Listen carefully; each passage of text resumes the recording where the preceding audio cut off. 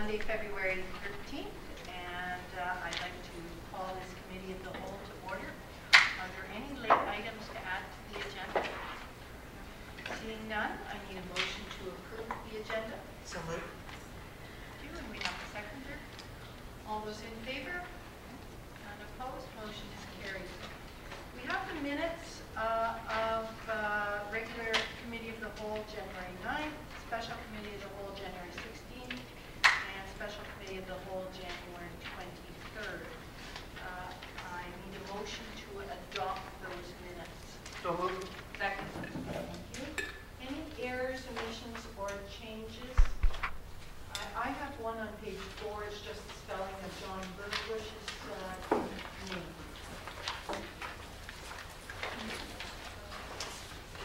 B E R G, I believe B U S H. B-U-S. S C H, thank you.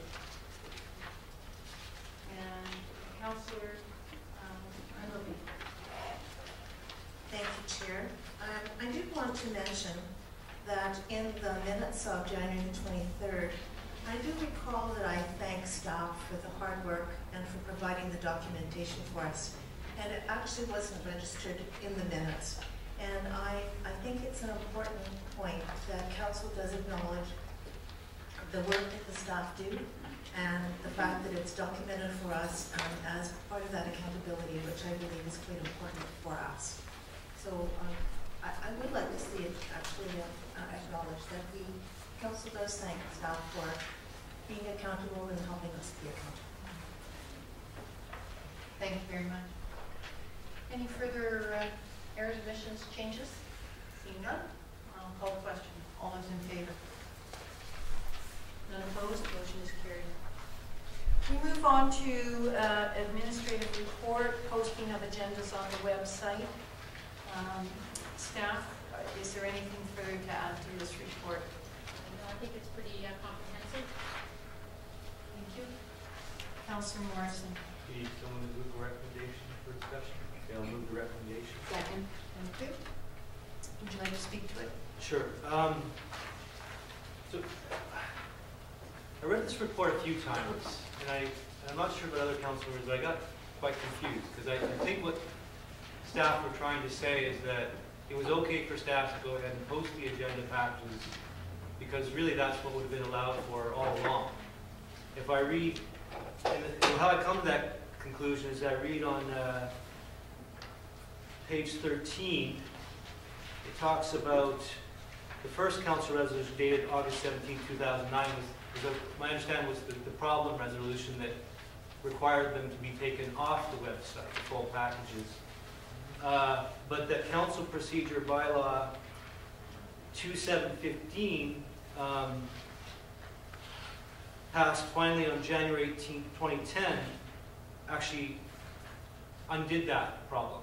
So basically, what I, what I, and I'm not sure if this is accurate, but what I understood from that was that actually since January 18, 2010, staff could have posted the full agenda packages all along, since, well, going on over two years now. Is that correct? I- I'm really genuinely confused, so. That's the way I would have interpreted that as well, but uh, of course, this happened all before my time, so I was Right. trying to um, um, go through the history of, of how we got to where we are, so this was the closest I could um. Okay, and I definitely thank the, the staff, staff for, for doing this, and however, I have to think of the people sitting in the gallery, and, and having been one of them for the last few years, sitting in the gallery and having that frustration week after week of not having that full access, and now to find out that actually we could have, as members of the public, had that. Um, to me, that's a tragedy. That's a tragedy about the accessibility of information from Municipal Hall and the transparency of information uh, that this council uses in its deliberations. Um, clearly, in my mind, from, from the confirmation just received, is that Municipal Hall, and I say all of us, council and staff, that we, we had dropped the ball on um, And as a result, the community suffered. Uh, the media suffered, the community suffered. Uh, they were not getting the access to the information that they should have been getting all along. So our assurances to the public should be uh, basically tonight through this motion, um, but as an extension as well, coming out of this motion, this discussion, to never again repeat that grave error that has occurred these past few years. Um, never again will the public be excluded from. Counselor, um, I want you to speak To to the council? motion and to council, to the motion. To the I motion? mean, history Okay. is history, and now we're And moving this, this forward. is actually leading to an amendment as well, so, if, uh, to the chair. Um,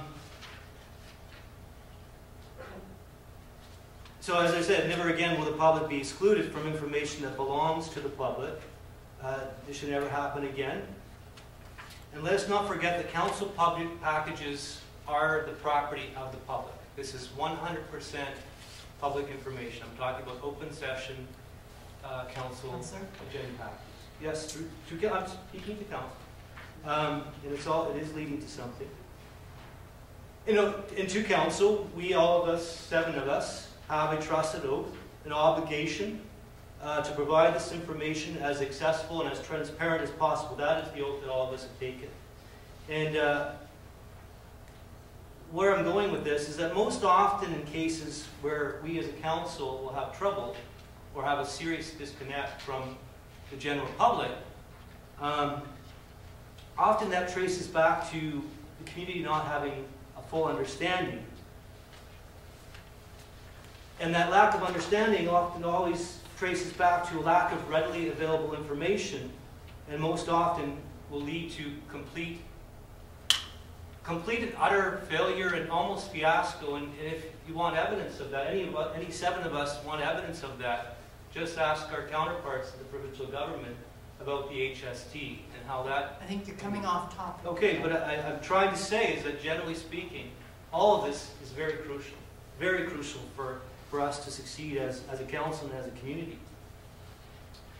Um, as a council, through the, the mayor's inaugural speech and through our various uh, assurances this past campaign, we have made openness and communication one of our top priorities. That was reinforced again in our strategic planning that we recently announced.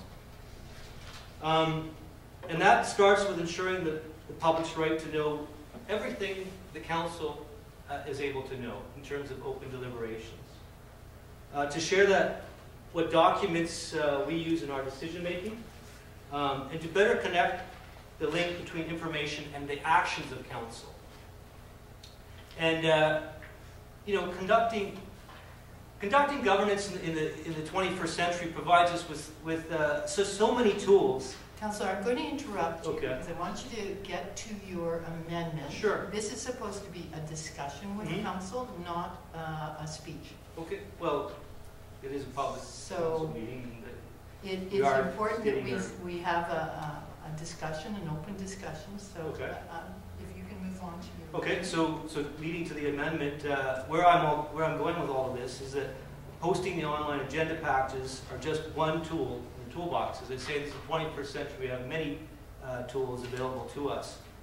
Um, But what we, what we also need to provide as part of this extension of, you know, openness and transparency is what we also, is is what, uh, we need to provide the access to our deliberations and the actual decisions the council has made, the- the discussions that take part as part of the overall agenda package.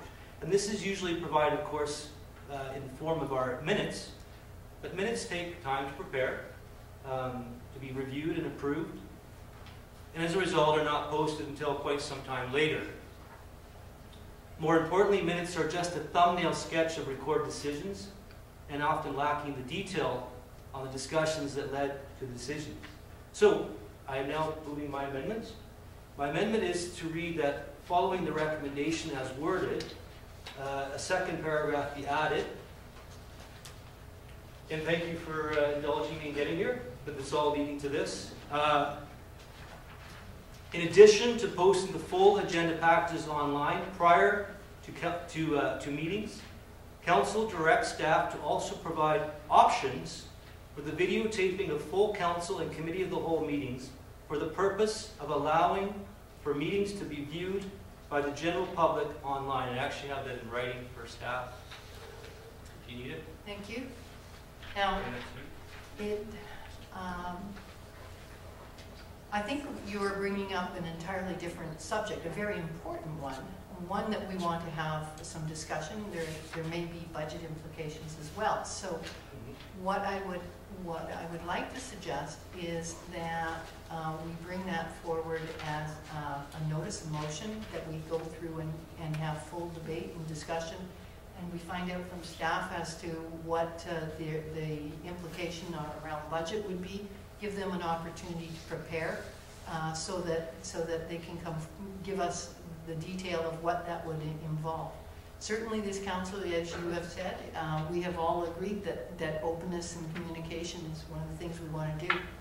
And taping our meetings is, is maybe a part of that. So if uh, you would uh, consider bringing that forward as its own fulsome discussion and topic, I, I think that we would be better served that way. It, it, it really isn't an amendment, it's an addition, and so it would need to be a, a, a, a second recommendation, so, um, If, if I, can I respond to the chair? Mhm. So just, it, um, thank you for that instruction. I, I don't see a problem with that. Um, however, I did specifically word the motion in as uh, innocuous way as possible, as it- the stress was on options. So, um, if, if tonight, as part of this overall, uh, motion to increase the openness and transparency of this council, we were to uh, instruct staff to go ahead and look at those options.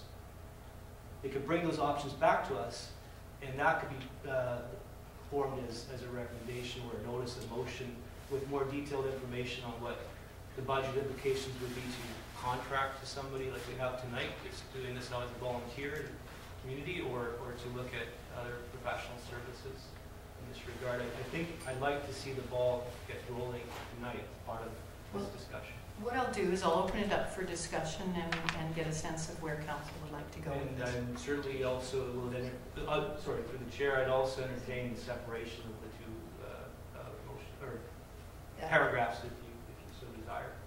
Okay, so let's open Order, it up for discussion. no second for the amendment.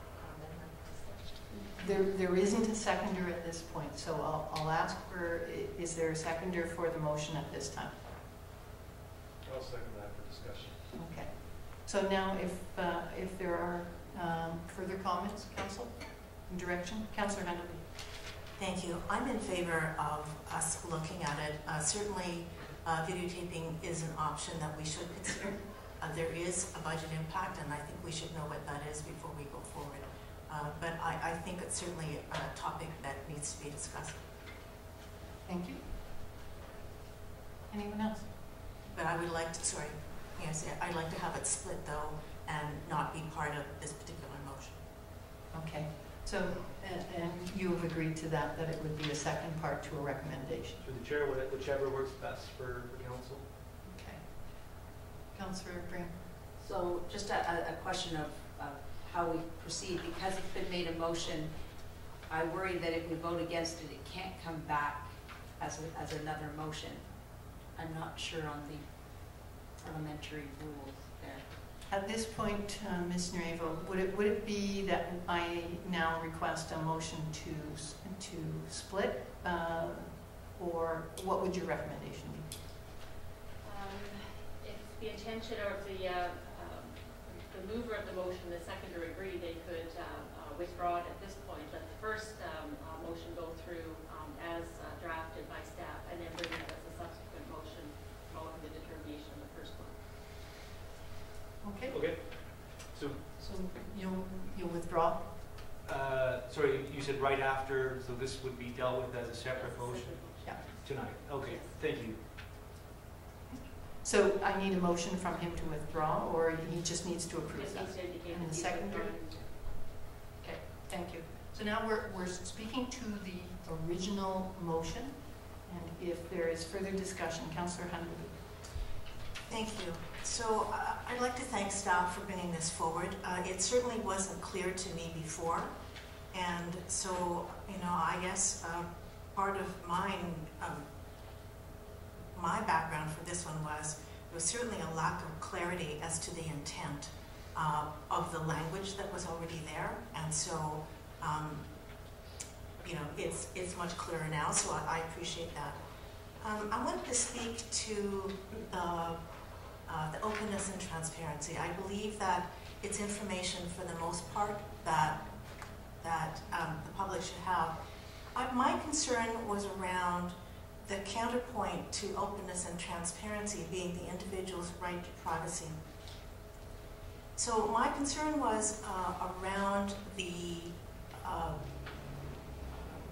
developments that come forward, and especially with a single-family residence there would be then the plan of somebody's home, and people do weird things with information like that. So it was a concern for me that that information was on the World Wide Web, open to the public, and available to anyone at any time. Um, so since then, I, I've had some other discussions, and I would like to ask, if I might, um, through the chair, uh, Ms. Snyder, to provide some background in terms of what actually is on the website and um, and what could be done with that if it changes or not. And then I might ask um, for some other information, and I would like to actually pose on an amendment, so I'm going down that path. So if I may ask Ms. Snyder, then just in terms of the developments that go on the website, could you provide a little background as to where that comes from, what happens to it, and if I can um, ask for anyone's house plans by going to the department? I'll try and answer all those in order. Uh, I'll start with the one if somebody wanted to look at house plans for a, a building other than their own. Uh, if you were to come up to the development services counter and ask to see the house plans for 1234 Elm Street, um, if you weren't the owner of the property or didn't have a written confirmation from the owner allowing you to access that information, we wouldn't give it to you. Um, if you said that you were thinking of purchasing the property, we would ask you to go back to your realtor and get some sort of a form signed by the owner indicating that they are giving permission for someone to look at their house plans. And the reason behind that is, is a security issue that you don't want everybody having access to look at um, where you've installed things, um, where basement access, accesses and things like that might be. Um, the next part about um, the information that would be posted on the website and what's in our agenda packet, or your agenda packages. Um, once something goes on the council agenda, it's considered public information, so people can look at it in paper format as it is right now. And if we post our full applications and agendas on the website, then they would have access to it electronically as well. Um, I'm not sure how long, I think you had expressed earlier that you have some concern about how long that information might stay out there in the World Wide Web. And I don't know at this time, it seems like we don't keep all of our agendas on the website forever. There seems to be a couple of years at a time, and then I don't know what our policy is, is how frequently they're removed, but that would be something to look at possibly with our communication manager. So there, there is a difference between uh, normally the applications that come forward that form part of the agenda package would be for um, rezoning applications where we're looking at multifamily buildings um, or maybe the, the privacy issue, you know, these are uh, a number of units that are going to be built. There might be some changes to them before they actually get realized. Um, in, in regard to single family residences, there's not that many of them. It's usually only when we have the small infill developments that are subject to rezoning, that then you get to see the actual uh, proposed interior floor plans of those houses. So my real issue when I boiled it down is the fact that it's on the World Wide Web for we don't know how long. And so uh, in discussions um, with some of the staff, I, I sort of felt that well, and actually in my own research, I went looking on the website to find out what I could find out from other places as well as Esquimalt. And uh, for uh, Saanich, it's, the, the agenda packages are on the website for one month, and then they're, they're removed. And so I felt that that would serve its purpose, that the public would have access to the agenda packages before the meeting, could follow along, have some opportunity to view, and then they would disappear after a certain amount of time. And so then it's not out there forever. And, and that seemed to be sort of a compromise um, uh, from my perspective. And so um, I would, um, not sure whether I should actually pose it then as an amendment or whether we need to have some other information from staff to determine whether or not it's, how, what its operational, um, whether logistically it's, it's easy to do or not, whether there's issues um, on either side. So I, if I could, to Ms. Mirko, you know, are there any particular issues with doing it, say, on a monthly basis or right after the meeting, or I don't know what would be the best and whether I should actually pose it at this time or later. Perhaps you could help. No, there, there would, through the chair, there would be no problem with, um, doing that on a monthly basis. Thank you.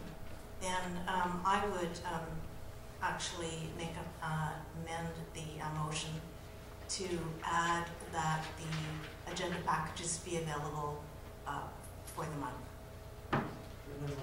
for, for, for one month. Thank you. Is there a seconder to that I'll second that. Thank you. Further discussion on that amendment?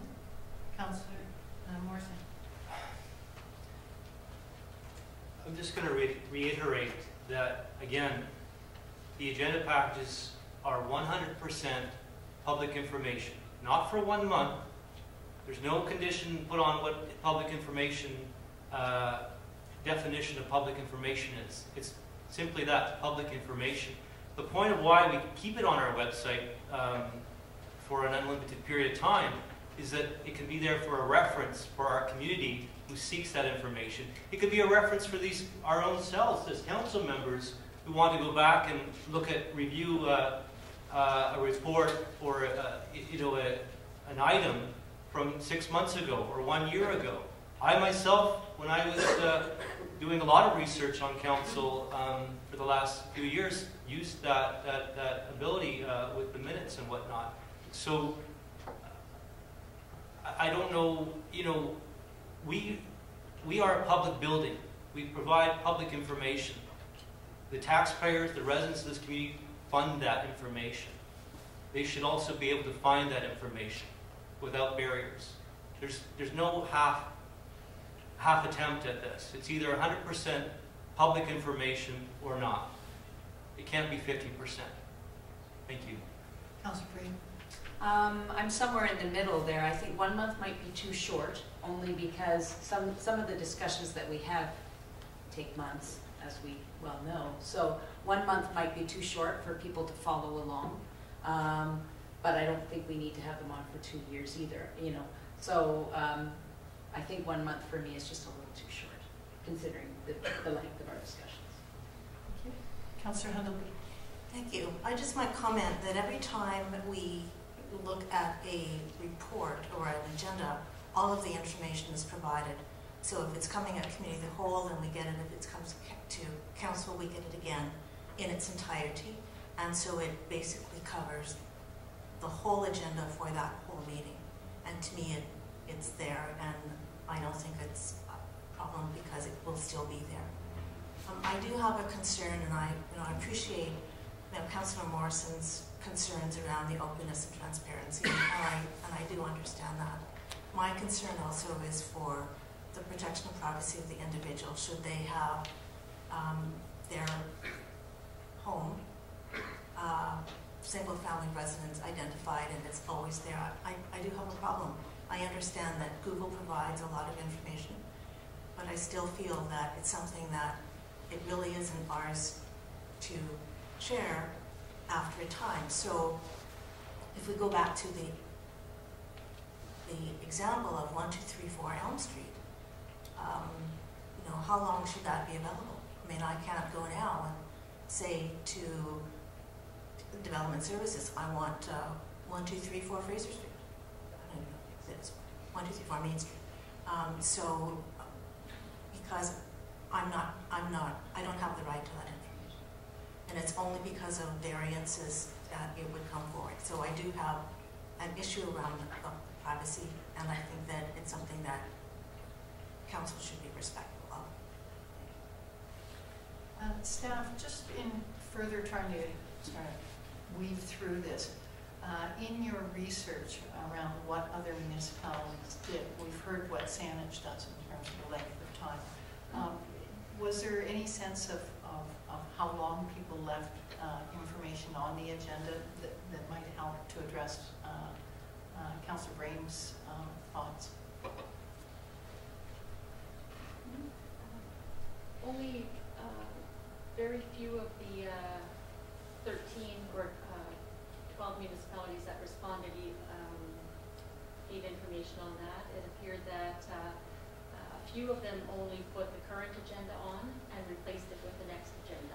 Others just, it was there all the time, and for the ones, the few that didn't post it at all, it wasn't an issue. So um, didn't look like there was any real common practice, but um, the norm seemed to be put it up there and leave it up there.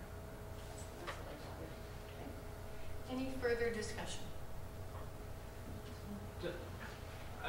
Sorry, just very quickly, I think that's very relevant information, and thank, thank you for that, because if we're, if the standard is what, uh, is the norm, why would we want to go substandard to that? I, I don't understand. Uh, In, in- in the spirit of this whole discussion on openness and transparency. So to address Councillor Hundleby's concerns, the norm is that this information is there for uh, indefinite period of time. Thank you. Councillor Hundleby, and then I'm going to cut off the discussion. Thank you. Um, I actually don't accept the fact that it's the norm. Um, when I was doing my research, which was not very long yesterday, last night, um, Oak Bay posts nothing. So that's one norm, if we want to use that one. Uh, Saanich was one month, it had one month of, of um, agendas on there, actually just for the month of. And uh, Victoria's was, uh, they were still there. And maybe they have an unlimited space, I don't know. I, I feel very strongly that we also need to protect the rights of private citizens who also might need to come before council, and I don't see any need to have them there for an indefinite length of time. I think one month should be plenty. And staff. Um, I just wanted to add to my previous comment that some of the municipalities, I guess, to uh, resolve these issues, did not include individual correspondence from um, uh, residents as part of their council agenda. Council was provided with that, but not the public agenda. And the other thing that they excluded uh, was uh, building plans. So council would have a different agenda than uh, the public would have. So there are different ways of resolving that issue as well out there. Council, it's clear that, that uh, there are a variety of things uh, happening out there in different municipalities, and there are many ways that we can uh, um, package this. Uh, We could uh, spend a lot, a lot of time and, and do bits and pieces uh, as we went forward. Uh, I think we've got certainly a good start in terms of posting. I think that uh, we, we have an amendment in front of us, and uh, we'll, we'll take a vote on that. But I think the important thing is, is that we are, uh, we've moved that one step closer uh, to uh, having the information out there for the public in an accessible way for many of them that can't get into City Hall. And so I, I think we celebrate our success at this. And, uh, and uh, as we move forward, we may want to amend this further and further uh, as we uh, decide that uh, um, we're more and more and more comfortable with, with um, you know, um, having this information out there. So I'm going to call the question on the amendment, uh, and if I could have the amendment uh, read again for me. That's for the staff recommendation, that staff continue their current practice agenda packages for council committees and meetings on the website, um, separating personal information, and then to add in there for um, one month for agendas. Okay. So just to be clear, we're only voting on the amendment. Just on the second, amendment at this point. Paragraph. Okay. Yeah. Okay. So all those in favor of the amendment? Those opposed? So the amendment fails. Now I'll call the question on the original motion uh, which is the recommendation before you. All those in favor of the recommendation? Those opposed? Councillor Hundleby is opposed. Thank you. Now, uh, Councillor Morrison, will you uh, once more read out your Sure. recommendation? And actually pass it to staff. I- How about if I read it and then you Okay. can copy it afterward? Thank you. In addition to posting the full agenda packages online prior to meetings, council directs staff to also provide options for the videotaping of full council and committee of the whole meetings for the purpose of allowing for meetings to be viewed by the general public online. And that has been moved by Council Morrison and seconded by Councillor Schinbein. And is there further discussion? I'm happy to read it once more. Council. And- just, sorry to be clear, this is not, uh, this is not dir- directing staff to provide us with a, a- a videotaping of council meetings and, and all the costs and all, the you know, all the question marks involved with that. Uh, That's not what this is doing. It's simply asking staff to go out, do a little research for us, bring us back some information. And that's something appropriate in, in the spirit of, of a committee of the whole discussion that we, as a council, could discuss and then ask our staff for some more information. The staff can't just do something, they need the direction from council to to perform that action. asking them for a report. That's it. Thank you for the clarification. Okay, any further discussion? Seeing none, would you like it read once more, or you're good? Okay, I'll call the question. All those in favor? Those opposed? None? Motion's carried. Thank you. So we'll pass that on to staff. Well done, Kathy. Okay, now we move on to item two, which is uh, limiting certain types of commercial businesses. Uh, Ms. Snyder, do you have anything further to add to your report? Oh, thank you, worship. No, I have nothing further to add. Thank you. I'll open it up uh, for discussion, council. Uh, If you'd like, you can move the recommendation move forward, or you can ask questions of uh, staff. Point of order, I guess the recommendation is, is already on the table. We don't need to move it again, correct? We, we need to move it because it was tabled. Uh, We just bring it back to the Oh, I table. see. And we bring it back, yeah. How is that? How do you? Procedurally, I think we It's need to bring already, it back. it's already before, Never it's left. on the It's table, being it's brought- on the agenda, so yeah, it is. so now we continue the discussion. Council, Councilor Brame. Just for clarification, could you, which exactly is the recommendation that was made? Just to totally be clear. I can clarify, it's on uh, page 18. Uh, It's on there twice, actually. Page 18, in the middle of the page, Okay. um, has motion and has the number one beside it. And then the second motion was the motion to, um, to table it. And that is the same as the top of page 20, which is the staff recommendation. Staff, I have a question.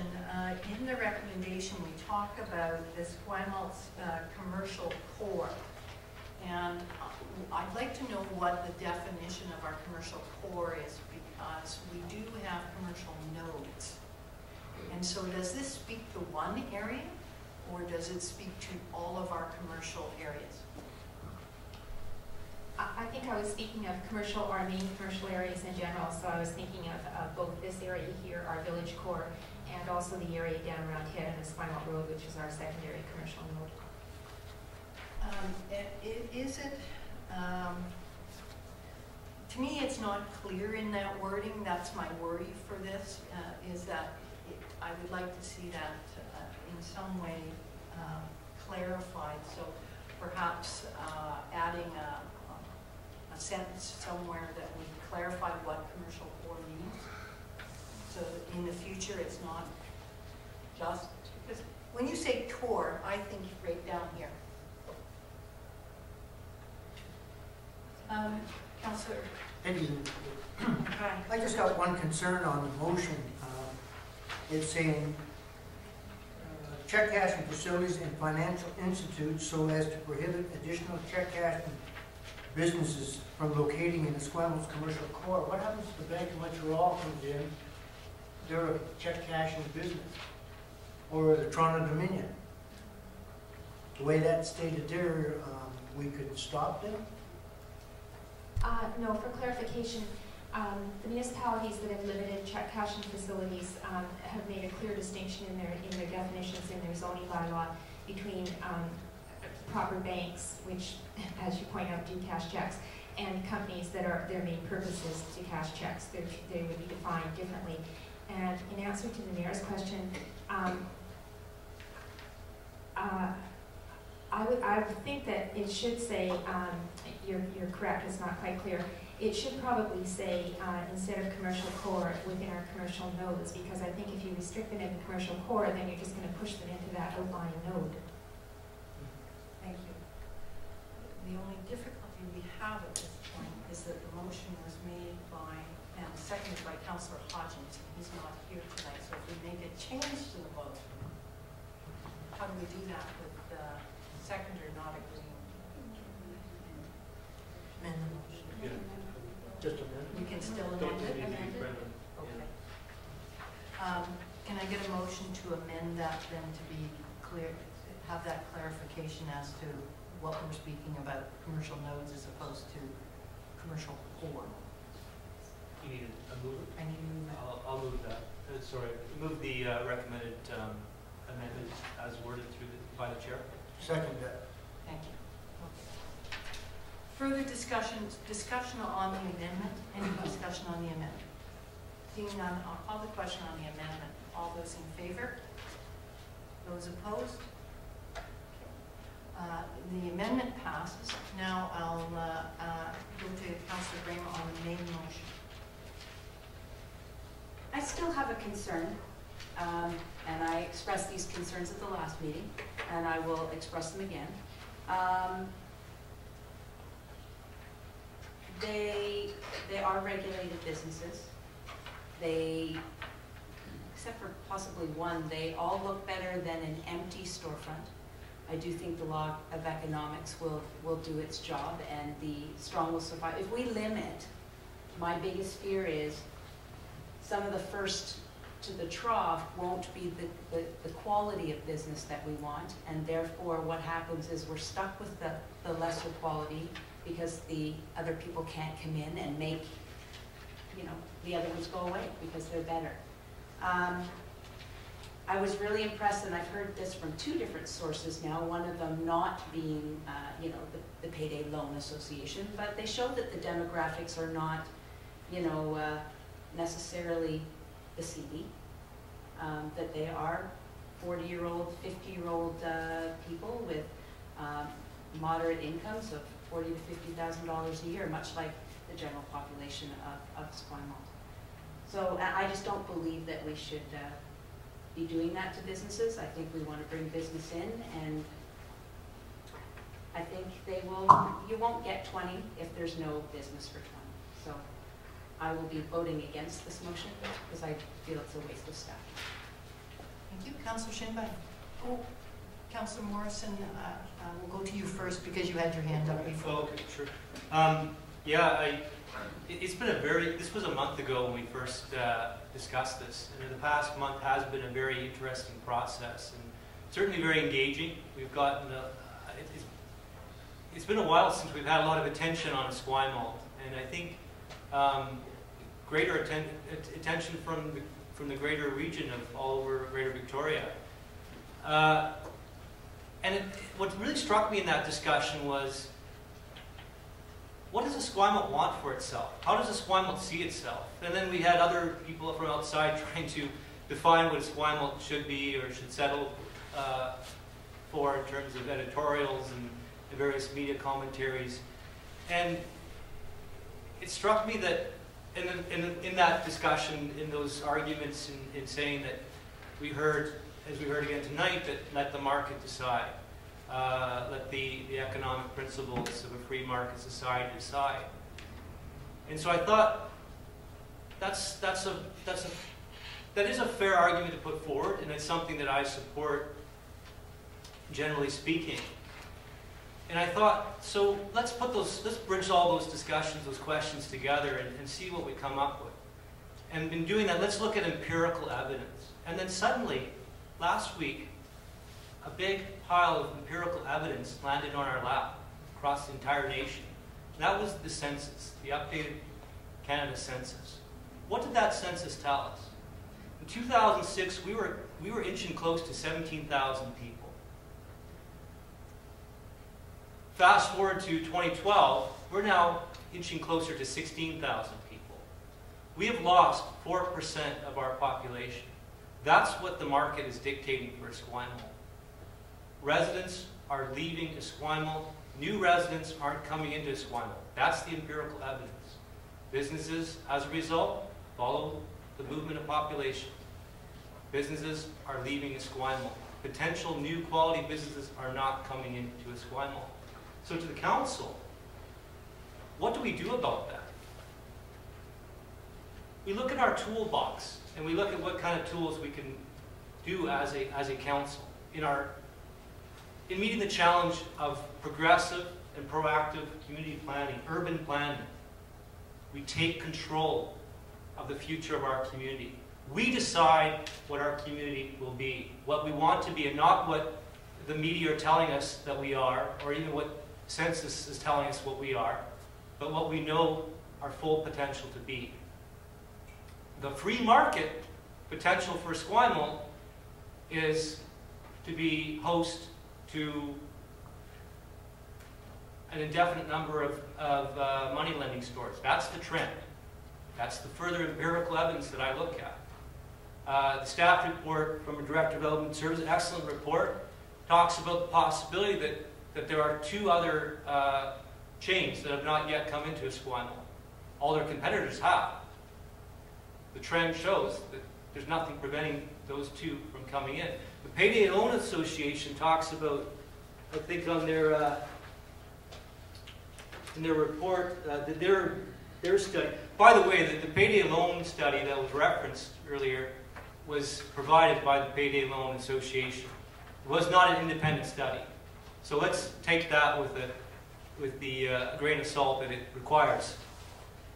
Um, but it talks about, I've lost my page here, wherever it is. Indulge me for a second. Sorry, on page 25, it talks about having 60, 16 member companies. So we're currently at five. Uh, our Director of Development Services identified two further companies.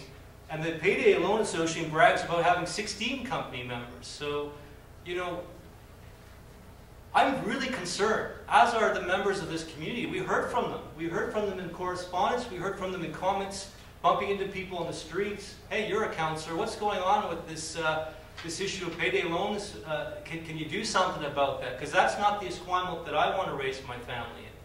That's not the Esquimalt that I know and feel every day that I'm in this community. It's the Esquimalt that, that others, um, it's the, the Esquimalt, the free markets economy is deciding for us and, and defining us as. That's not acceptable to us. So this is, I say, it's not a, an attack on the free market system. It's not an attack on businesses. It's not an attack on any specific business.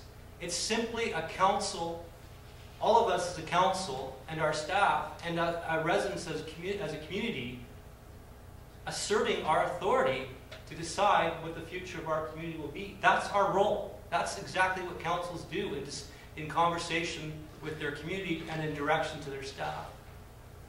We're not the first ones to do this. Other communities have rose to this challenge. Uh, the Director of Development Services lists them, Thank and they're all they're all having great success. Uh, Councillor Morrison, thank you. Uh, go to Tofino, go got- to We've got the information in front of us on that, and I think you've made your point. And I have other councillors that Sure. to speak. So- so just-. Just to reiterate the point, we're not doing this alone. We're not doing this against anything. We're doing this for our community. We're following suit as other communities have. Thank you. Councillor Schinbein. Uh, Thank you, Your Worship. Uh, I won't be supporting the recommendation. Uh, I, along with uh, some of the other councillors, do agree that we should let the market decide. on uh, which businesses come to this community. Uh, I, I fear that if you start to limit one type of business, where do we draw the line? Personally, like uh, Councilor McKie said the other day, we start limiting uh, shoe stores?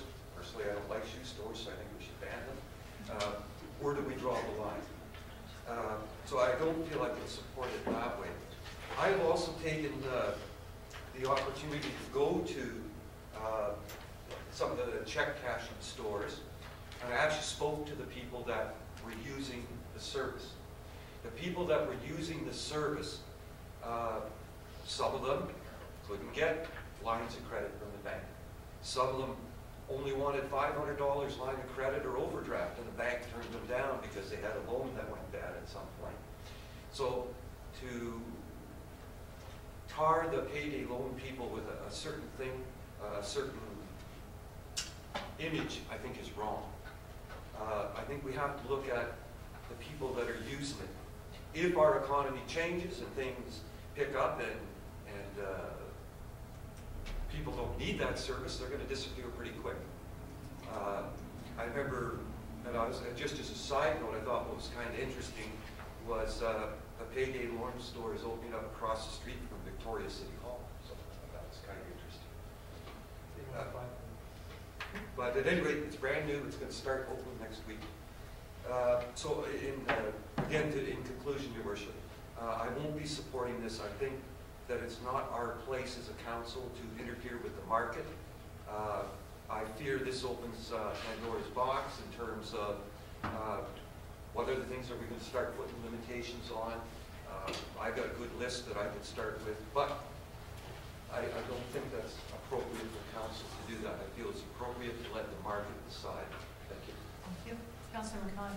Thank you, Your Worship. I will also not be supporting this recommendation because, um, as I said before, um, once we start regulating that, what's to say, okay, as Councilor Schinbein said, shoe stores, I don't like them.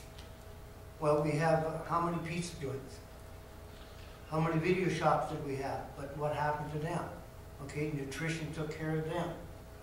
And just for one example, there was a Money Mart, thirteen hundred block of Admirals Road, which is closed down now and has moved to Langford. We didn't have anything to do with that. That was by their own nutrition. So I don't think we, as a council, should be dictating to the community, the business community, of who can come in and who can't. We want businesses to come in, but we're not gonna attract them if they hear, okay, Esquimalt up against arms because they're starting to limit the number of uh, businesses that can come into Esquimalt. And personally, I think if McDonald's hadn't given Money Mart that shot, we wouldn't be talking about any of this. But it's right on main street, and McDonald's has been a burr in a lot of the old-time Esquimalt residents' uh, backside, you want to say, because of the- where they're situated and how it became about. So I think that's the only reason this subject has come up. As I say, I will not be supporting this recommendation. Councilor Hundleby. Thank you. Um, I wanted to make uh, two little uh, sort of off-the-cuff comments, if I might, uh, before I launch into my other piece. Um, I like shoes. And um, I also wanted to make the comment about, about the census comment, and I I saw that too, and I- I had to smile when I saw it because um, my family went down, in the household, went down from four to two. So um, the empirical evidence is such that um, our two children left home. So um, we're not about to rent their rooms either. So um, I just felt I needed to say that. Uh, I um, had some concern about this when this came forward, and I, I was interested in how we could, um, or how I, how I might kind of feel on this. My initial reaction was, yes, let, let's limit it. But then I, I've stopped and I've given some more thought to this, and I just wanted to share some of those thoughts, just because uh, I took the time to think about them and I wrote them down. Um, I really wondered about the service itself uh, as a service provider, and yes, it's maybe not something that we might uh, like to have, but you know, it, the reality in this, in our economy and in this community is that they are needed. And so I think that to, to limit the number um, means that we limit the market. And I'm not sure that I, well, that we should be doing that.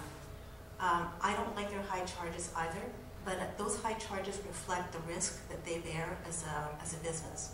And so as a, and I accept that. Uh, it's a capitalist venture and, and I accept that. Um, and I, I uh, would uh, hope that we didn't need those. But the reality is, is that we do. Uh, it's honest, it's legal, it's legitimate, and I don't think we can uh, change that. I think we still need to um, allow those those kinds of businesses, and I don't feel that we should limit it. The other part that was helpful for me was that when the Chamber of Commerce was asked how they felt, my understanding from uh, them was that they felt that it should not be limited by council. And so I will not be voting in favor of the motion. Thanks. I know I have uh, second-time speakers, uh, but I wanted to put in uh, my thoughts on this. Uh, my thoughts are that this is um, a great report because what it's done is, um, for me, is it it's provided some thoughts around how we can do better business. And I'm uh, concerned because we're mired in a yes or no right now. I take a look at the report and it talks about Ladysmith having a revitalization tax exemption program for their downtown. And, and that's on in page 21. And so they're encouraging upgrading of businesses, change, uh, uh, revitalization through that kind of uh, process. In Sidney, they have decided that they'll look at certain types of business being able to be located on their main street. And that's to promote that walkability, that, that vibrancy for that main street. They've done a plan. I look at what um, they've done a detailed development permit guideline for their downtown uh, West and neighborhood commercial areas. We haven't done that that might be a better way for us to, to look at how do we gain more business and, and diversify our. Central Saanich has, has uh, also established strict guidelines for new and existing bus businesses, uh, resulting in several existing commercial premises changing their color schemes to create more modern look this is, to me, what I was hopeful to get out of this discussion, that council would look at these things and say, staff, these are the things we want you to, to provide us with more information on. And that way, uh, in essence, we can, we can create an, an environment that the market, market does uh, take, take care of itself. I have had um, the unfortunate or fortunate, you can look at it, um, need to be in Vancouver in the last little while. And when I've been driving around, I've been looking for Money Marts and payday loan stores. And I have to say to you that there is a certain uh, demographic, certain type of area where these stores will be. They will be where there is a need for them, certainly but there is also um, a, a, there's a demographic that it seems to, to fit in with. For example, um, they're on Main Street uh, and uh, uh, 10th Avenue uh, down to 2nd Avenue. Um, that's, that's commercial, it's an older part of town, it's, um, if I would say, if I look at Vancouver, I would say it's on the more rundown side than the less rundown side. So, you know, I think, uh, you know, we all have these, these anecdotal things that we're hearing from people. People either like these stores or, or don't like them, but I don't know that that's the root of the answer is to say yes or no. I think the root is to take a look at what are other communities doing to vitalize their commercial areas. And let's get on with it and do those things. Um, I'm not going to support this, although I, I don't want to see more of these stores.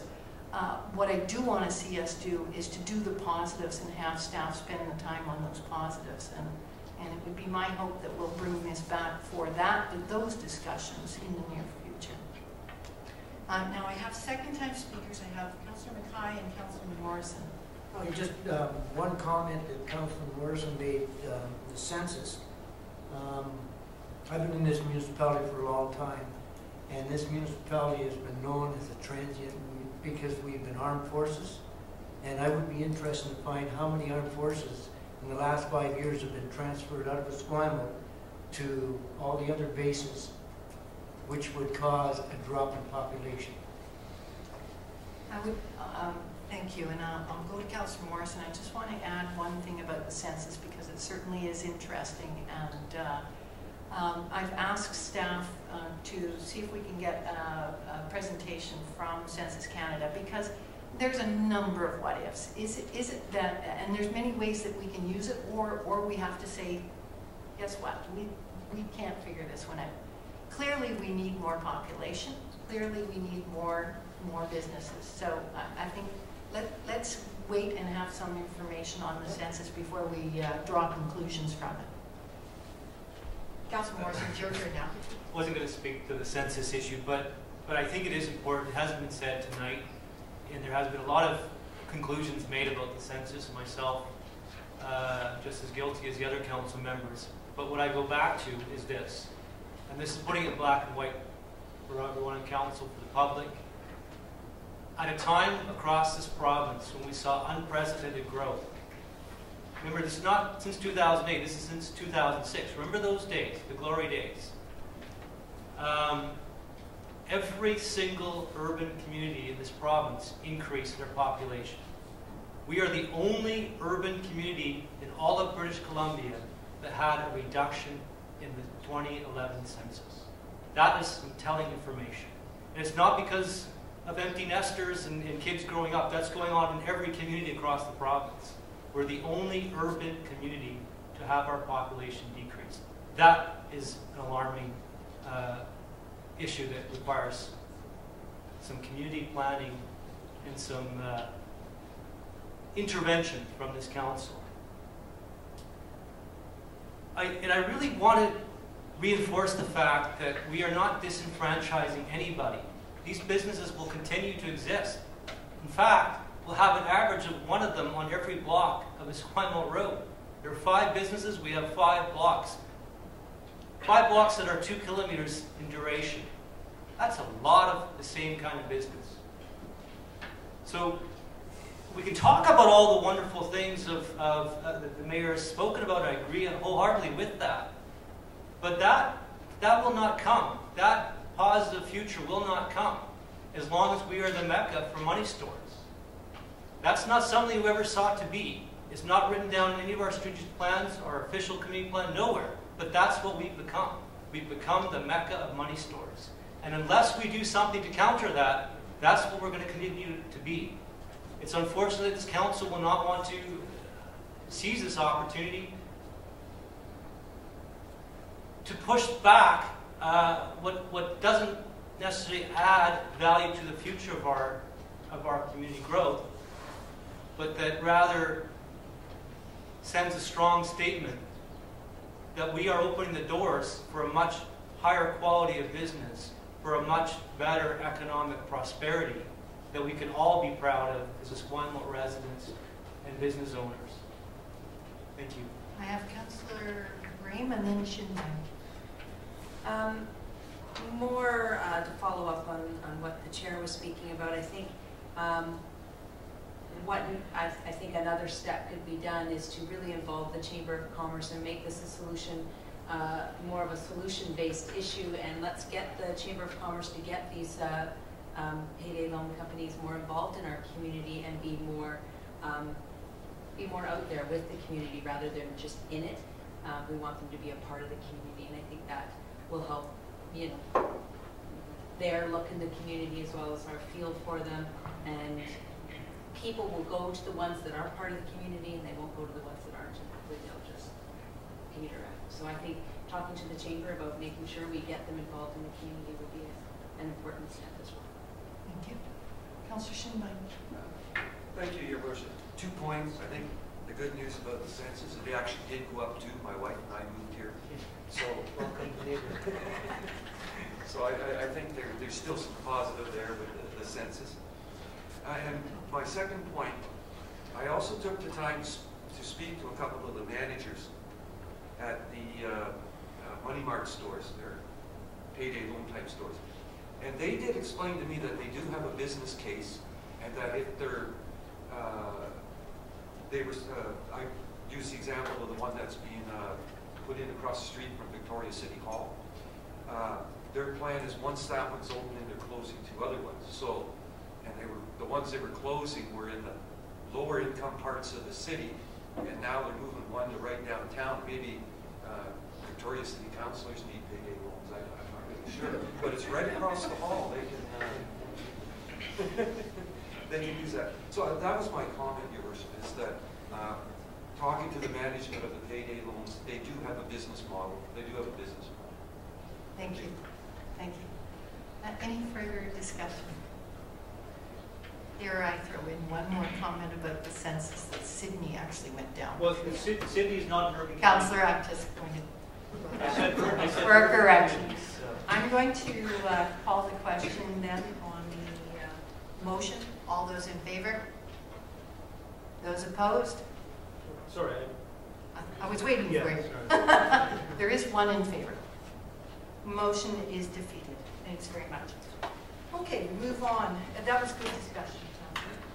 So just quick for the record, I was in favor. Yes. Okay. Yeah. Thank you. Uh, Fire rescue uh, mutual aid agreement. Uh, Chief? Would you- Would you like to add anything to your report, Chief Ward? Uh, Madam Chair and members of council, I would just like to comment that uh, if this agreement is endorsed tonight, it will greatly enhance uh, firefighter and public safety. Thank you.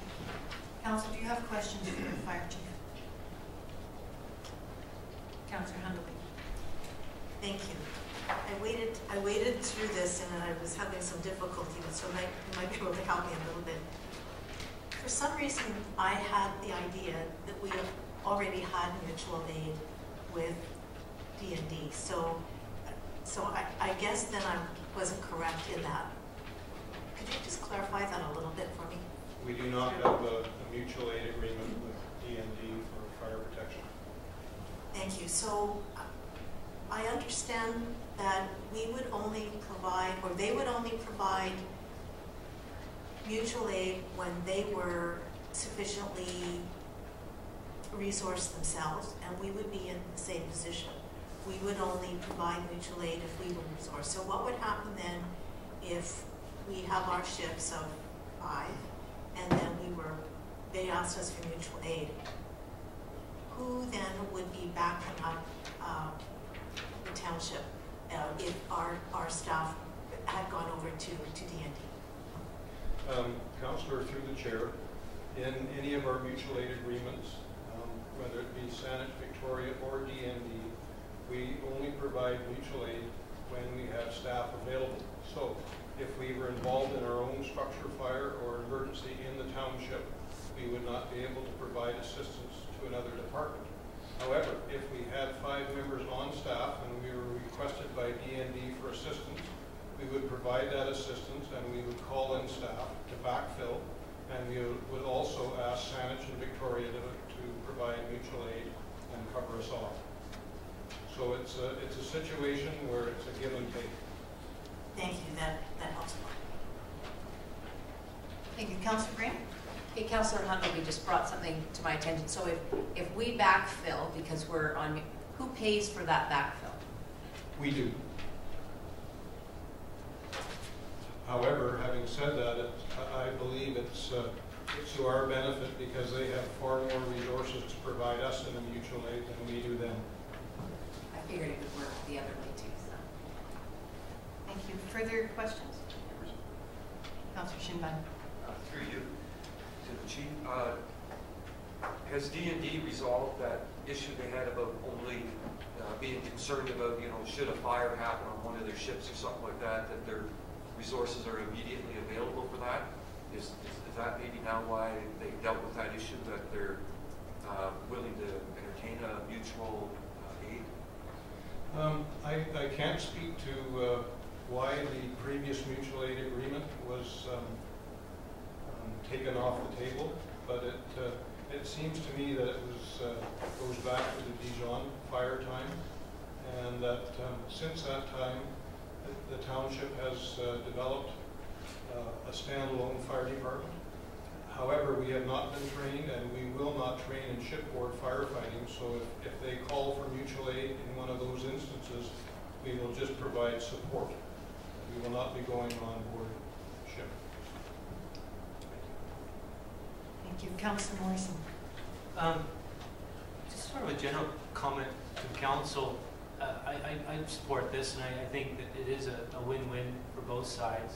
Um, and it also reinforces the partnership that we have with our biggest and most probably relevant and, and most crucial neighbor um, here in Esquimalt. And I, I know in the past I've suggested that uh, as a citizen that we should do more shared services with um, DND, and I've often heard that oh that's impossible, and, and for for many uh, many aspects um, it is just because of the I would say the the complex bureaucracy involved with dealing with a federal body and, and specifically DND. And I think that this proves that you can have a successful partnership of uh, shared services.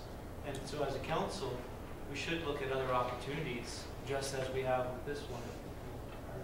Um, you know, but it, it, it, it is an opportunity to say that we can work with D and D. You can call it, just to respond to Councillor Hundleby, you can call it whatever you want. It is a partnership. It is an agreement. It's an agreement that works for both sides. It opens the door for a whole other other uh, group of opportunities to to to um, to implement and to explore. Council, you have a recommendation before you. I'll move the staff recommendation. I'll second it. Thank you. Any further discussion? Um, You've answered my question, Chief, and uh, thank you for all the hard work in, in getting this uh, pulled back together, because we do value the, the ability to uh, um, uh, work with our neighbors. I'll call the question. All those in favor? None opposed, motion is carried. Amendment subdivision and development control bylaw. Ms. Snyder? Thank you, Your Worship. I have nothing to add to the staff report. Move the staff recommendation. Second. Discussion? Seeing none, I'll call the question. All those in favor? Thank you. I think this is important when I realized that there were 200 pages. Uh, I, uh, I think it's, would be, will be helpful to people to have brought forward. We now move on to uh, the uh, application for development permit for 521, 529 Comerford Street. Ms. Snyder? Uh, Thank you, Worship. I don't have much to add to the staff report. Uh, Just to point out, though, that this is a different uh, proposal than the one that was considered last fall, and that although there's still parking relaxation being requested and a couple of other variances, um, this is a much better parking ratio than what was brought forward previously, and the applicant has worked hard to uh, reduce the number of vehicles, that thereby reduces the need for parking spaces, and uh, he's reconfigured things to try and make the best use of space. So I know that the applicant and his architect have a full presentation that they'd like to show you. Thank you.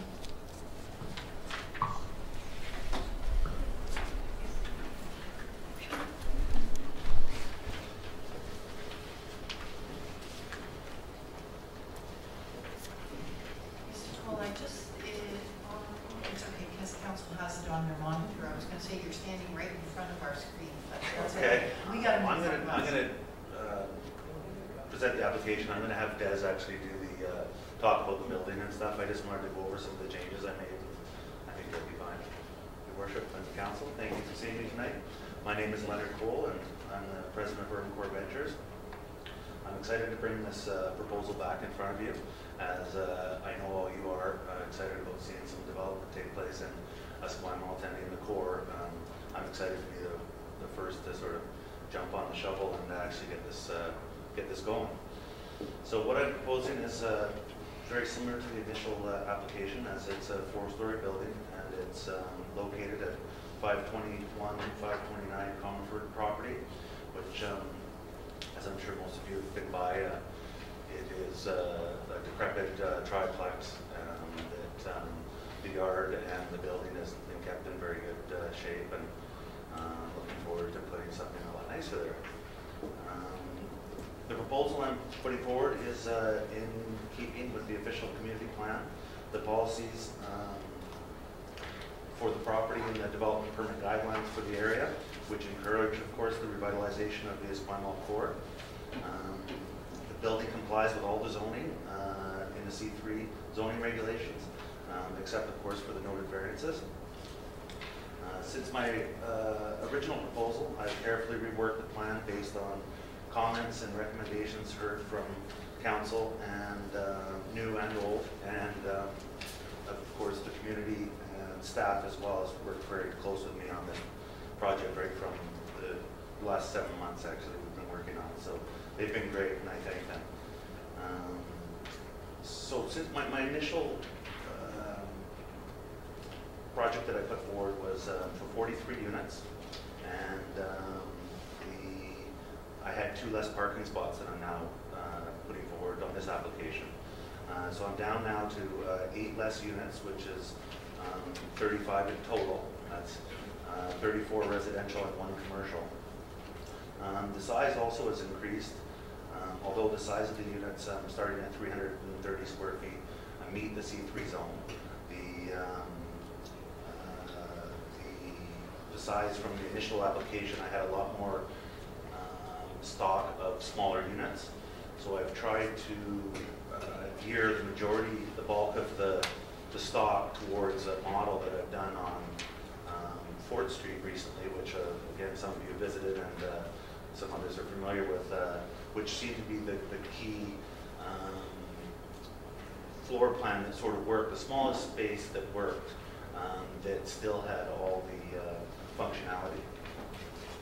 Um, As you know, my uh, primary objective here is to provide an attainable um, product. And in saying that, uh, I'm, I'm providing a, a product that isn't currently available, and it's not available here, and it will feed, it will fill a housing need that uh, I think um, responds to a large demographic. I'm asking for the relaxation of uh, the number of required parking stalls uh, to 0.65 uh, per unit. Um, That's an increase from the original proposed uh, 0.41 and most recently put in front of council at 0.43. The OCP supports the relaxation of parking standards for projects in Esquimalt's core, given the proximity to transit and the provisions of ample bicycle and uh, scoot- uh, scooter storage. The number of parking stalls uh, required is a direct impact uh, on the ultimate affordability of these units. I believe there's a market for these people, uh, and this price point, which will be starting at 139,000. Um, A parking study uh, that I had Boulevard uh, Transportation Engineers um, do on the property fully supports the new application and the reduction of parking based on the size of the units, the location, and the traffic demand man- management measures uh, we have put in place. In support of the variance, uh, I'm providing uh, secure uh, indoor bicycle storage and scooter parking um, for, um, for three months. I'm offering all residents uh, a bus pass, and uh, I'll include that in this application. Um, I'm also asking for another uh, uh, variance, and it's based on uh, visibility. And um, the reason that this variance is in place is it's to protect these commercial core properties that have zero, um, uh, zero lot lines uh, building, which I do have, but in my case, I have an 18-foot boulevard around the property, so the the visibility aspect is a, is, is a non-issue here. Building design and its um, aesthetics have been uh, broadly supported in the community, and uh, the modern design, although keeping with some traditional details, um, complement that corner, and I think it will be a substantial improvement from what we have there now. Um, So now I'll introduce you to Des, and he's going to go through the uh, building construction and uh, some details on the project, and after he speaks, I'm happy to get back up and uh, answer any questions and conclude. Thank you. Good evening, and thank you, Len. Uh, The visual mass of this building has not changed significantly. Sorry, get this to work.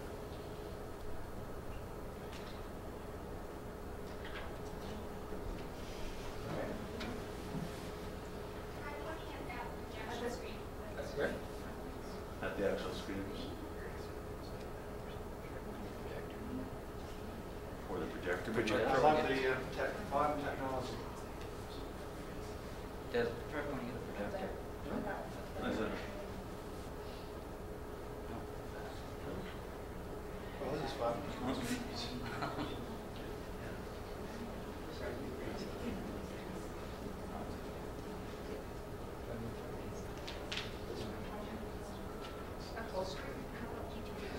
Oh, I can, which, which button? Just scroll up that. I can, I can. no problem. Again, the joys of modern technology. Where are? The visual mass of this building has not changed significantly from our original proposal. As Len indicated, where the main changes are, are in the number of units, going from uh, 42 residential units down to 34 residential units. This project falls within um,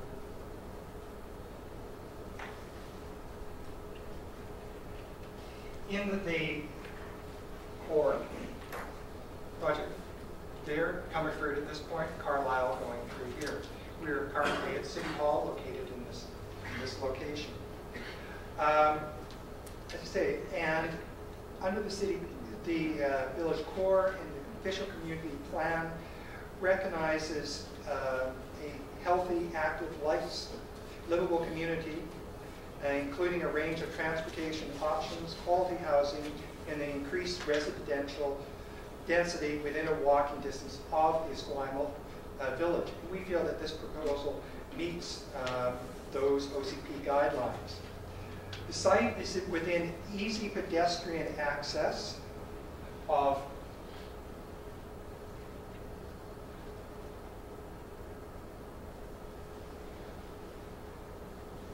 of the, uh, the library, uh, the Archie Browning Sports Center, uh, the Esquimalt Plaza with a plethora of various stores, um, a series of other uh, stores, businesses, services along Esquimalt Road, um,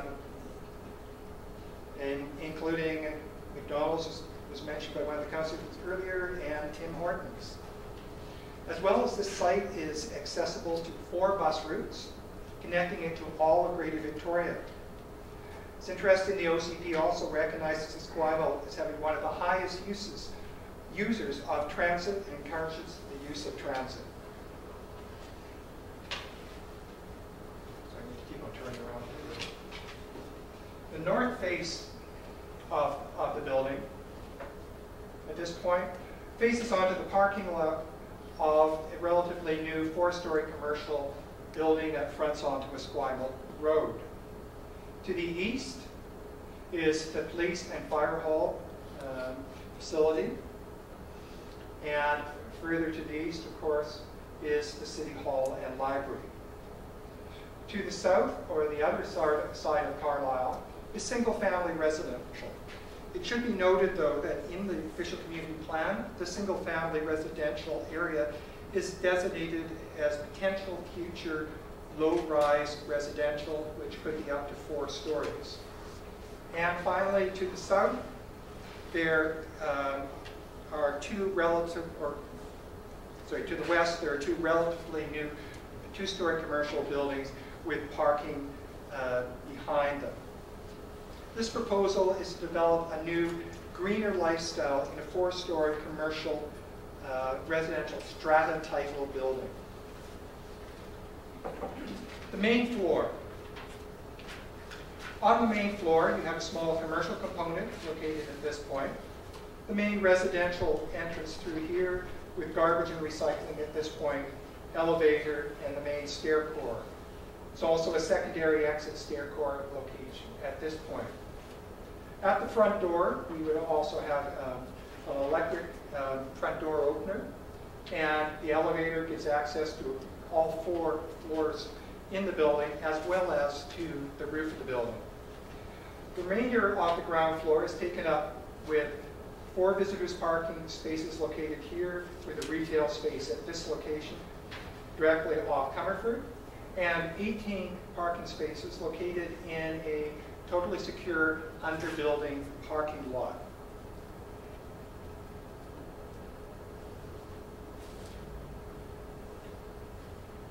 Going up to the second floor, the second floor contains 12 residential units. Again, the elevator and stair tower here with the second exit stair at this point.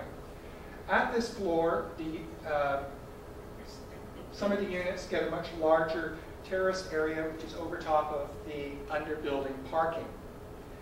Um, as indicated by Len, every floor has a storage room providing uh, bicycle and locker uh, storage as well as potential for a scooter plug-in.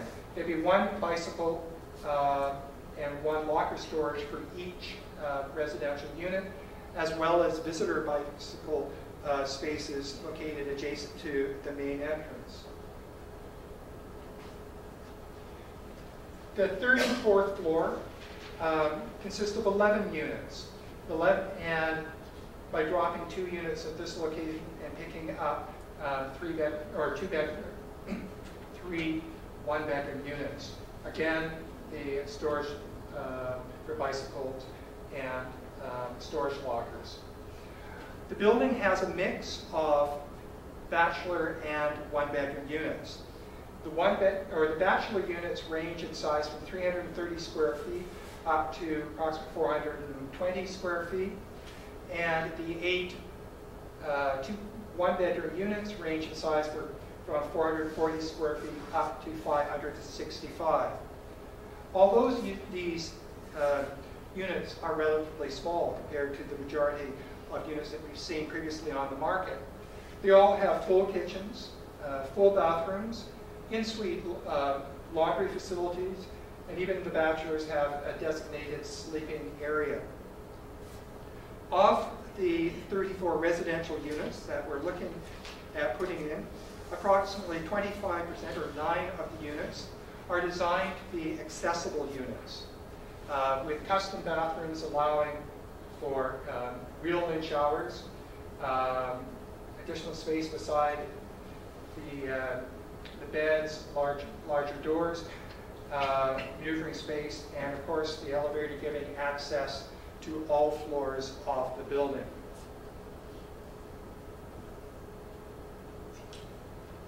On the roof, excuse me, this is rather dark, we have a approximately uh, 1,100 square foot um, roof deck. This deck is accessible to all people. Um, again, the elevator comes through as well as one of the staircases. It will be furnished um, with uh, patio furniture, um, a table and chair, chair set, uh, planters and landscape, landscaping, and because of the height of it, will give some uh, fairly fabulous views over Esquimalt. As I said, this uh, rooftop deck um, is accessible for all residents of the, the building.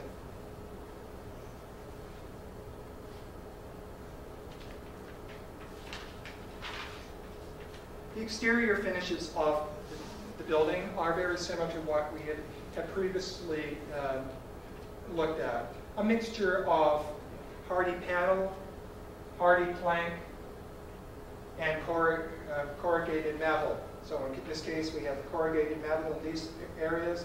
You have Hardie planking through here, hardy panel in, in this area. The ground floor um, is separated from the residential portion by heavy damping at this point, and then also a difference in treatments. The ground floor will all have um, slate tiles and commercial um, type uh, storefront um, windows at that point. The use of different colors and materials uh, yeah, enhances the architectural interest as well as breaks up the architectural mass of the building. This building will be constructed using the latest in building envelope construction practices as well as would be built to a minimum of the silver level built green uh, program. We will also be using a built green consultant to ensure that maximum energy savings and green building principles are incorporated in the building design. And the building will also be wired for future solar uh, conversion. Given the location of the building next to the, to the public service uh, building, uh, police and fire, we will also uh, be working with an acoustical engineer to look at noise uh, abatement measures to ensure uh, the uh, livability of the units facing onto the public service building. Um, as Len indicated, this proposal meets uh, the majority of the requirements of the zoning with the, the uh, two relaxations as indicated. Uh, the one being uh, the parking and the other one was the view corridor across this corner. The parking spaces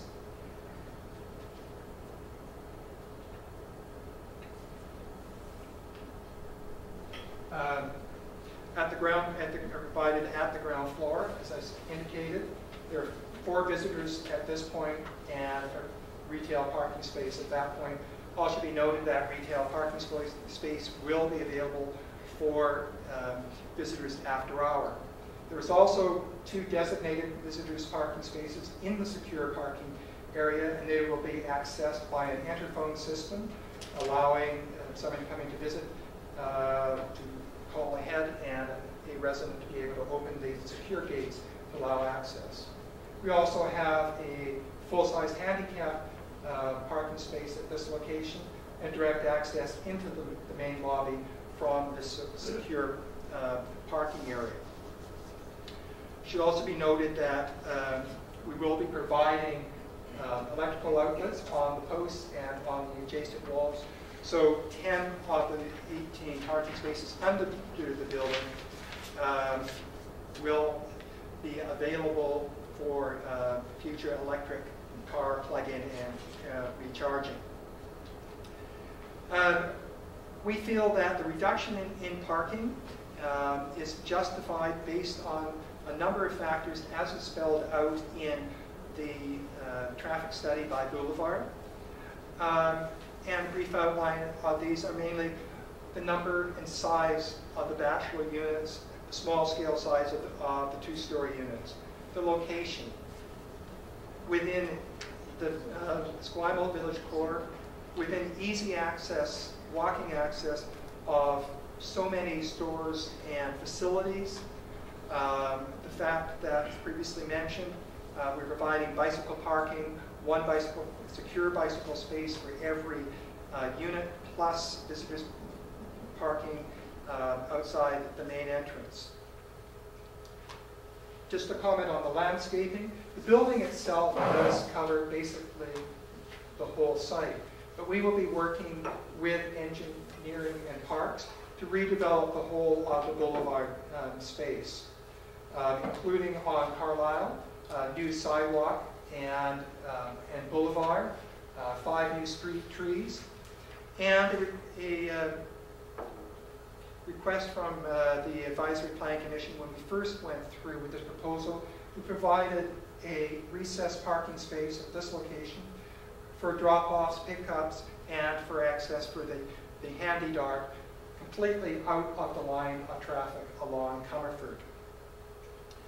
Um, as previously stated, this is a lifestyle choice to move into this type of building.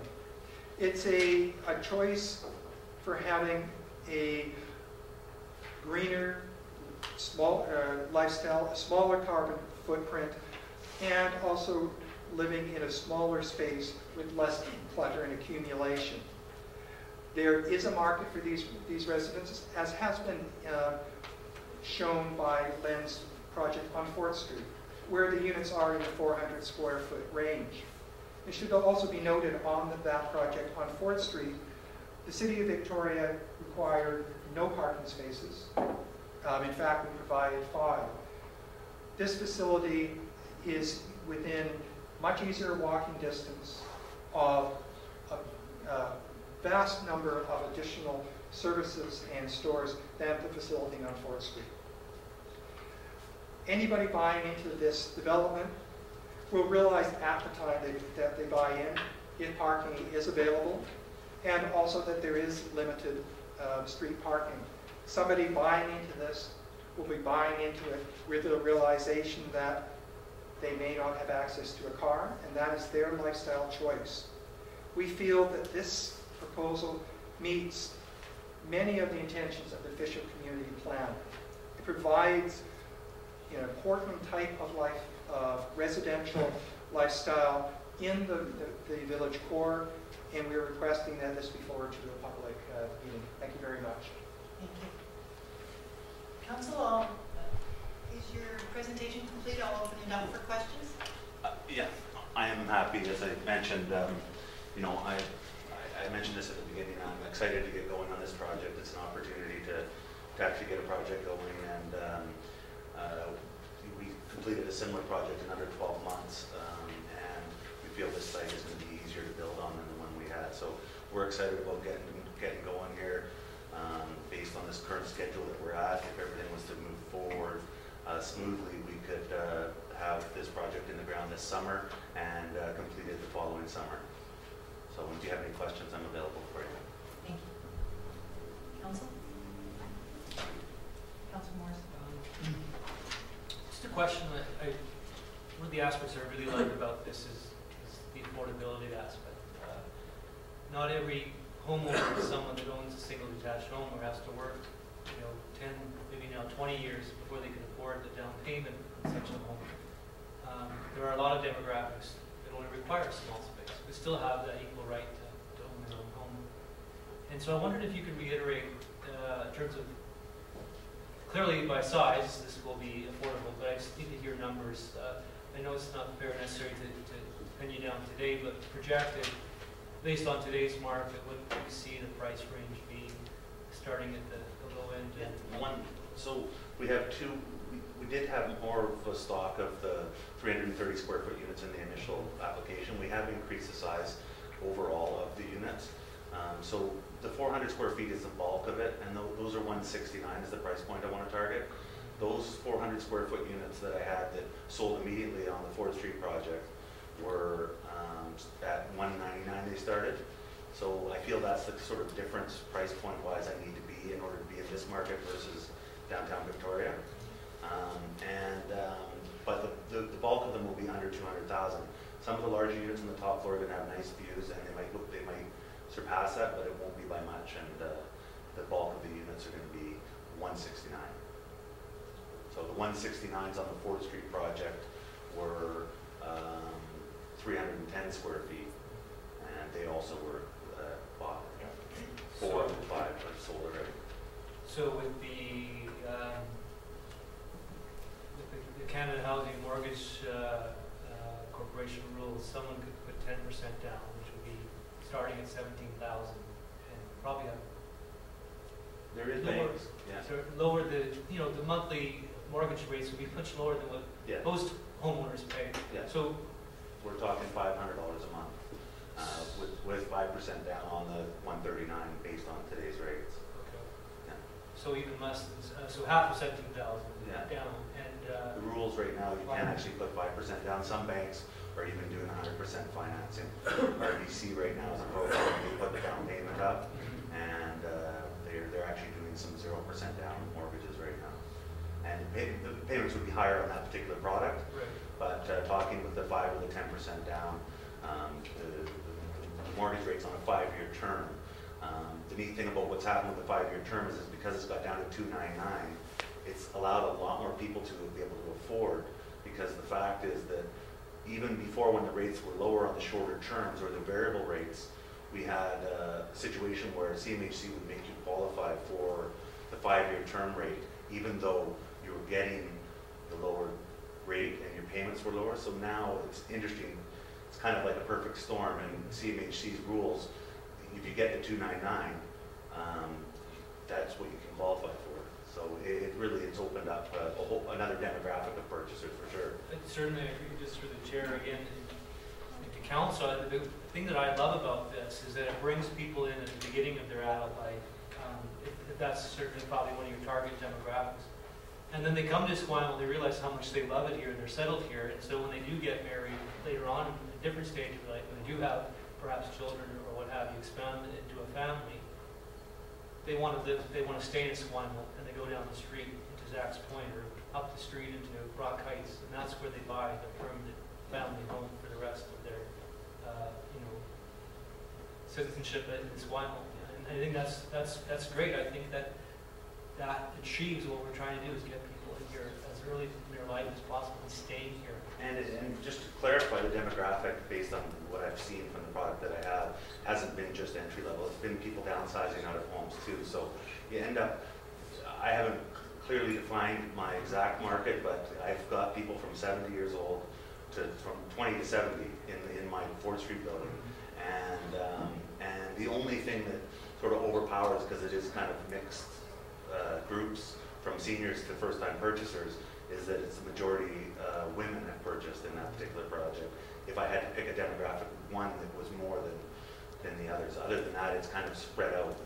And uh, another thing I didn't uh, get to in my, uh, my um, presentation, and I thought it's important to know that um, if I was to do this project um, under, as a seniors project, um, Esquimalt zoning would allow me to do this whole thing with actually more units.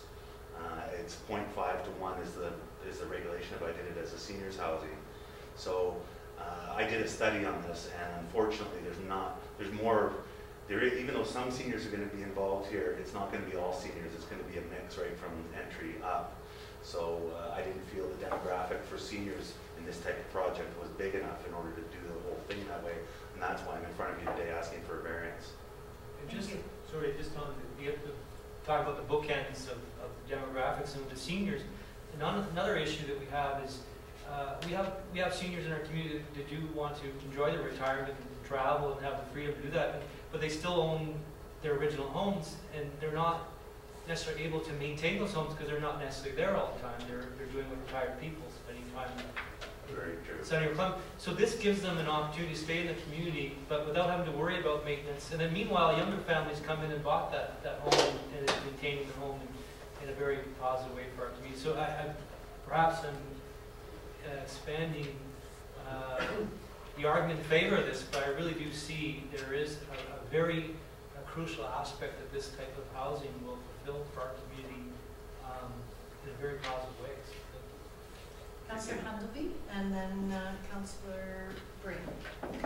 Thank you. I'd first like to start off by uh, saying that I think this is an attractive development, and it certainly provides Esquimalt residents with other options uh, in terms of a type of residential accommodation. So I'm, I'm pleased to see this come back uh, with the adjustments made to parking. Um, I did have one concern, and that is uh, during construction, quite often neighbors have difficulties because construction folks come and they park all over and make messes and so on. And so I, I'd like to know that there's a plan for uh, people who are working on the project to park somewhere and it's not going to um, inconvenience the neighborhood. So one thing I can touch on, and, and, and uh, we did, I had this conversation, and it has been brought up before. Uh, I did want to mention, again, about the 18-foot boulevard uh, becomes very convenient uh, for parking and uh, gives me lots of access. My last project that I just completed is, we had zero uh, parking and uh, no boulevards to work on. So in this particular location, I think that there's an opportunity to uh, work with uh, Esquimalt and, secure the boulevard for the length of the project, and that'll be used for materials and parking throughout the length of the project. And um, we have been in preliminary talks with some of the surrounding businesses, um, which of course are going to benefit from the uh, extra activity in the neighborhood. And uh, although it's very challenging to get somebody to commit, that because uh, it's their property and their, their, their space, there is some uh, local alternatives that, uh, that are right in the surrounding areas. So we're looking at that too. Thank you. If I could just uh, then confirm, so you would use the boulevard for parking.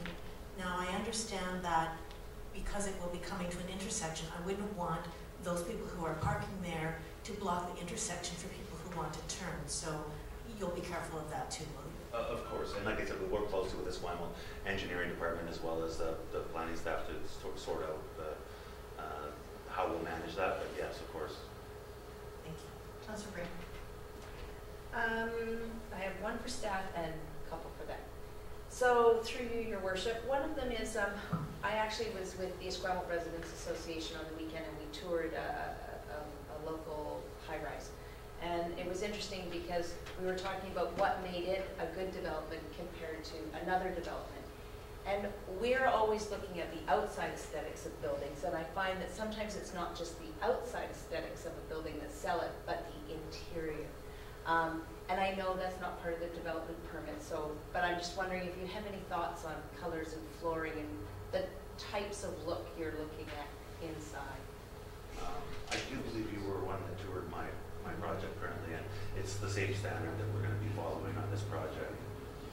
Um, so that there is quality, uh, you know, we, I, we've had lots of people tour the project, there's lots of interest from lots of different people, um, not just uh, other council members, but, uh, other housing groups and stuff like that. I, I think we've done a very good job of what we've done, and, uh, again, between now and, uh, if we're fortunate to be forwarded, I, I encourage uh, anybody that wants to come and tour the facility that I have, that you're more than welcome to come out and have a look, and, uh, I can explain a little more about it, and you can get a feel for the space, because really seeing it, and like the quality level as well as the functionality, I think it speaks for itself. I can also just make a quick comment, I think the addition of the rooftop patio area uh, goes a huge way towards a, a sense of community in the building. Um, unlike just a, a garden where people might walk, I think the rooftop pat- patio area will become a place where people will assemble. We'll go up, um, we'll have a fabulous view from that area up there. As I said, we're providing chairs, tables, so it will be a place that the residents will assemble. I think it's a place that will get a lot of use by the, the people of the building, and it will develop a sense of community. Can you just tell me a bit about the soundproofing measures, you know, um, what kind of things you're doing to make sure that it mitigates the noise from the street and within the building? Yes, so again, great point, and uh, I am um, known to be a bit of an overanalyzer, so I mean, I just went through this start to finish on my other project, so I keep reflecting back, but it is a mirror of this project, and um, I've been to uh, housewarmings at my own facility, and I'm, um, staggering to me how soundproof they are, and the reason that that's the case is because we've, uh, Homewood Construction is a, a company, a local firm that's been in business building these types of buildings here in uh, Victoria for 20 years, and uh, BC Building Code doesn't always tell you what to do to give you privacy uh, between units, but time and experience does. And John Newton, the owner of uh, Homewood, who worked with me very closely on that project, um, we, we took extra. We do double staggered walls in between, and then we create, which then creates airspace in between the two walls.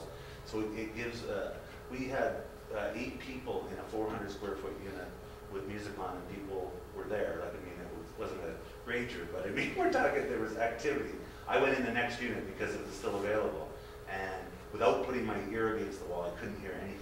So once I got my ear against the wall, then, then I could hear muffled uh, noise, but it was so minor. I, I was very impressed. And of course, the flooring is, there's um, concrete topping on all the floors, so there's a concrete separation between the, the upper and lower floors. So we've looked at all that, and uh, like I said, be, being that I've had the opportunity to work with these people, we take all that stuff in consideration. And Des touched on it briefly about the uh, outside noise coming in. I've been uh, over speaking with the fire department the public safety building, and uh, although they have the right to pull out of the building and turn on sirens and such, it never happens. They don't do it. It's not typical practice for them, and uh, that's the feedback I've got from the people at the fire department. Um, one of the things, if you look in the report that talks about noise, was the canine unit is currently housed there. We don't know how long that'll be, but they are there and they do do stuff there. There's So that, that's what inspired us to go to another level and actually hire an acoustical engineer to then look at that as, you know, we've got dogs next door, how are we gonna deal with this? Can we do something extra for windows? Is there something on the outside walls and not just the partition walls that we can address? So we have looked at that and, uh, we're taking all that stuff into consideration. Great. Councilor McKie. Thank you, Worship. Um, I like the looks of your plans that you've got laid out. Thank you. And I also like the accessibility. Okay?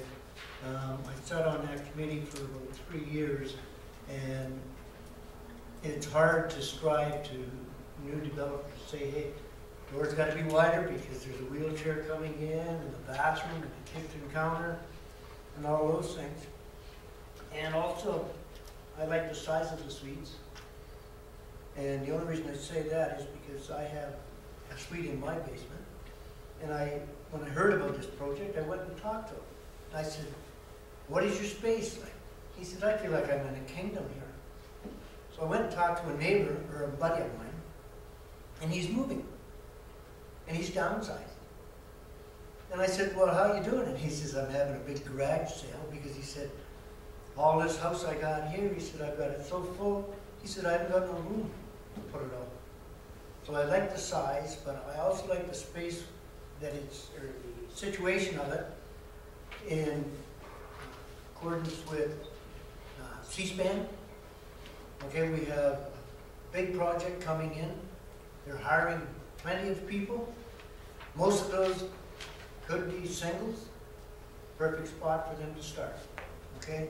That helps bring our population up, and that's what we're looking to strive. I also like your pre-wired for solar. Okay? Um, The only question I have on that solar is, okay, if it's pre-wired for solar, is that panels on the top, or? Um, so these are, a lot of the stuff that we're bringing up now is, uh, is stuff that we've been working on as the project's a- As most of you are aware, we, we've been back and forth with the project and we've worked closely with staff and, and this is feedback from council today and prior. And one of it was, it, what, what that pre-wire is, is it's conduit system that basically goes from the roof down to the electrical room. And it allows, uh, a situation that if somebody in the future was wanting to install that, that it's already there, as opposed to tearing apart the building and making the project potentially not feasible. It's already there, so the, it's, it's pre-wiring basically for, for the, the project. And who basically are you really targeting? Are you targeting the seniors Well, that are, I are getting ready to move out of their house, or are you looking at the young people that are singles that are coming in? Um, I, I, I touched on that, and like I, I mentioned, I mean, the, uh, because I mean, I've been out and I'm looking at different ways of getting to people for the product that I currently have for sale. And, um, the problem is, it's hard to pinpoint, there's a big demographic and there's, well, sorry, I shouldn't say that. The demographic is actually small, these aren't for everybody. These are not for everybody, but inside of each demographic, there is a portion of the population that want this. And they don't want to go out and pay for a parking spot that they don't use. And they want something that's more affordable. And they, so there's, there's little bits, and that starts right from first-time buyers and it goes all the way up to seniors. And um, it, it, so it's difficult for me to tell you that uh, it's all going to be this, or it's all going to be workforce housing, or it's all going to be first-time home buyers, or it's going to be that 40, 50-year-old guy that's going to get his payday loan that maybe he's went through a divorce now and he can't get back into the housing market. Now he wants to start somewhere again. Uh, so I mean, there, it just goes. I can Thank every. you for giving us that. uh, Well, it's sort of the free market will dictate. No, no, but I'm just saying that, that, that it's difficult um, to really know. It, I know that there's little pods of it in every market, and everybody's touched by it. You mentioning it's the guy in your basement, and it's your neighbor, and it's in my case my mother. You know, from a 2,500 square foot house down to uh, 500 square feet, and she's happier than anything. So I mean, it's you know I she's. want to, uh, I'm going to interrupt you Okay. because you're, you're being put on a, on a spot where you don't necessarily have to be. uh, Well, uh, And we're very interested, and I think that's, that's the plus. Council, I need to um, just uh, kind of corral your enthusiasm a little bit because our job is forming character. Leonard's job is selling him, making sure he's in the right place, uh, in the right market. And, and so interest is good, but, uh, I think that it's important that we deal with warm character. Is it a good fit for the neighborhood, those sorts of things. And then we can have these other conversations with them off, off, uh, offline. I have Councillor Schinbein. Uh, Through you, your worship, thank you. Uh, I, I am quite prepared to put forward the motion that we move on to the, uh, the public meeting. And when I look at this and when I, what I've read about it and what I've uh, viewed uh, on the, on all the information that we're provided, I think this is a, an excellent start to the village plan. I mean, you, you gotta start somewhere. So I have a mover, do I have a? a Second. Thank you. Um, Did you want to add anything? No, further? no, your worship, that was my comment. Um, I would just like to add my thoughts, and I'm, I'm very pleased to see that you've come back and that you've made those adjustments that we've requested. Um, I'm hopeful that the community are going to see them as enough of an adjustment. But I have to say that your timing uh, has been uh, um, very opportune. I, I spent the morning, well, an hour of this morning down at Dockyard, they were announcing another part to their national procurement strategy, which is a school of excellence. School of excellence means that we're going to have people coming and training, and they're going to need a place to stay. And they're not going to have full wages at that time, they're in school. And I see this as an excellent uh, uh, way of providing something for another part of our community uh, so that, so that we can all benefit. We need people, they need workers, uh, and we need housing for those people. Um, The, the price point is good. Uh, I'm very pleased with that. Um, And so, uh, you know, I, I think that uh, there is the opportunity, and I'm so glad that you mentioned your time frame, because we have other projects that have come forward, and we don't have a sense of that time frame. And we need to have something in the ground for these people so that we can take advantage. So I, I want to, um, I'm, going to keep asking you about that time frame because that's important as we go forward in terms of how the community may value this, certainly how council may consider this. Um, the second announcement uh, that, that made sense to, to really, really consider your proposal around this, and I'm, I'm going off in tangents too. But it was around the announcement of closure of the Craig Flower Bridge. And again, I see these things as catalysts toward, it's the right time for a Esquimalt. So I'm, I'm pleased with uh, this proposal and, and uh, I'll be supporting the motion. Uh, Further discussion, or I can call the question now that we have the motion on the floor. I'll call the question. All those in favor? None opposed. Motion is carried. Thank you. We'll see you again. Thank you. Thank you very much. Come back to the show. We now move on to Esquimalt Village Plan. And uh, staff, I I would like some clarification as to what you want to achieve out of this discussion tonight. Because the recommendation indicates that you want us to have a discussion and decide which, um, which way to go. Are you hoping to come out of tonight with, with that direction? Uh, Thank you, Worship. Uh, That depends on the discussion that occurs this evening. Um, This has been something that's been up in the air for a while, and whenever we're talking to people and, and um, there's always a little, a a degree of suspicion because a lot of people, I shouldn't say a lot of people, but I have come across people who um, feel that a developer's already been chosen and they're, they're curious as to why the municipality's um, selling a municipal property. And it just seems that there's, there needs to be some um, frank discussion about what the options are. At one time, uh, a year or so ago, there was the notion that possibly uh, we should bring some sort of uh, economic person in to go over some of these things with council to outline the pros and cons of each of these options. So uh, this was just trying to, to get a first um, blush, a, you know, a, a first cut at the conversation to see whether we need to bring those kind of experts in, or whether council can come to a resolution on this themselves. Thank you. Uh, Certainly, uh, new members on council won't have had the advantage of having that preliminary uh, discussion on the merits of each one. And so that's why I wanted to get a sense of where you were headed.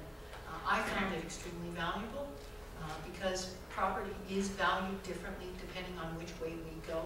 And that indicates to me that our amenity or, or, or our, our uh, community benefit uh, can be greater or lesser depending on which um, uh, uh, direction we take.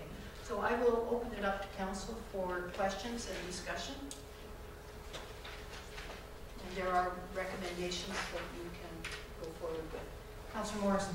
Um, Just ask the question through the chair to staff, and you may not be able to answer tonight. Um, When thi- when this issue was discussed quite, quite heavily during the election campaign, and, and, you know, even before and afterwards, uh, one of the things I heard was, there was a real concern with the um, public-private partnership. And then the example that people would use is, well, look at the, the Olympic Village in Vancouver, the city of Vancouver. Uh, That partnership has been, according to most independent reports and media uh, stories and whatnot, been, for lack of a better term, a complete disaster, um, a disaster for the taxpayers in the city of Vancouver. And I'm wondering, so when we talk about possibility of a public-private partnership, is that the same type of thing that, that happened with the Olympic Village in the city of Vancouver, and then also have the same potential uh, downfall for, for Esquimalt taxpayers? And I asked the question without really knowing at all what that means, so thank you. Um, I don't know if I can answer that appropriately. Um, every public-private partnership is different, so, you know, you can, uh, you, it's a contractual relationship, so you can write into the contract what you hope to achieve and, and negotiate with your potential partners to get the right mix. Um, I think there have been some successful projects that have been done throughout the country. Um, I'm not that familiar with the ins and outs of the, of the project in Vancouver. I, I mean, I read about it in the news, but I, I don't know the ins and outs of it, so I don't know where that fell apart. Um, it's something that I don't have a lot of, I have no expertise in this at all, so I was thinking if you were um, interested in doing that, this isn't where you might want to have um, someone that, that has more expertise come in and talk to you. Uh, Councillor Hundleby. Thank you. Um, and, and thank you to Councillor Morrison for his question. It kind of parallels mine in that I understand that there are risks with the private, public-private partnership. And what are they? And how could they be mitigated? And how can we have control over those? And, and that's kind of where I need more information. Um, and I suppose it really depends on who you're working with as well. And would we be able to obtain any grant funding for this? I don't know that. Um, P3 Canada, I've heard the name P3 Canada, but I don't know whether in fact they would offer any opportunities for us there. Um, we are putting in community amenities. We could look at it perhaps. I, I don't know what we're planning to do with the building. I have some pet thoughts that I, I'd like to see. Um, but I don't know if this is the way for us to go or not. And so I'd like to get more information before I would vote. I'm pretty sure that I do not want a, to be, I don't think the municipality should be a land owner and take rent and all that kind of stuff, leases and, and deal with that. I, I don't think that's what the municipality exists for. So I'm, I'm not interested in, in going that route, but I certainly would like to know what the, the leasing option might be like, or what P3s would be like. I do need more. Councillor Brandon. Um, through you to staff. Uh, so, number three, township retains ownership. That kind of falls back onto what Councillor Hundleby was saying in a sense. Would we then become landlords, or would we build it and then sell them piece by piece and eventually not be a landlord? Well, that's basically one of the things that council would have to decide. Um, when I wrote this, I was thinking more or less that you would act as the developer if, chose to go that route, that the township would act as the developer. um, get the project built, and then the units would be sold off. Um, I wasn't thinking of these being rental units that the municipality would continue to manage for years to come. Um, so eventually we would sell it, but we'd have the hassle of marketing it and building it and being, whereas if we're gonna go that route, you might as well just kind of sell, like have the plans in place to make sure that it's built to the quality that we want right at the beginning, but not have to deal with the nitty gritty day to day. Okay.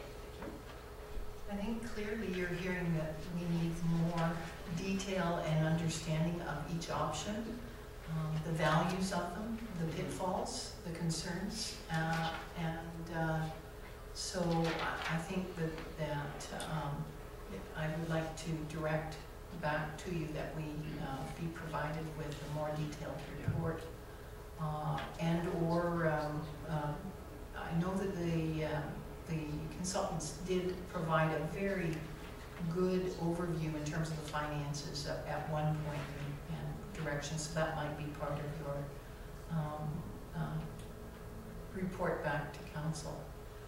Um, in terms of the, um, motions or the, the recommendation,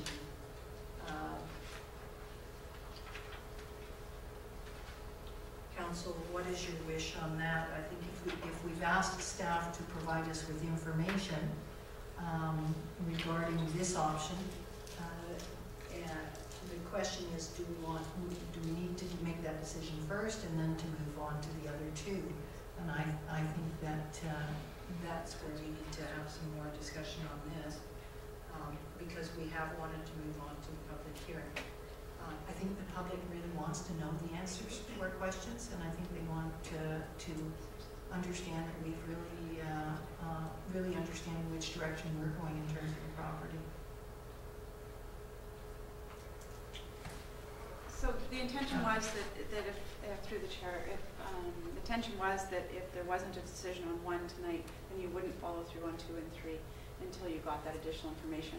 Because it, um, it would be a much more meaningful public hearing if you'd actually given direction. So we would, um, we would take council's direction and provide more information for, um, recommendation number one before moving to two and three.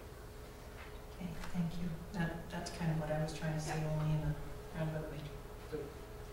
Any, Councillor Schinbein? Uh, Sorry for my little uh, departure there for a second.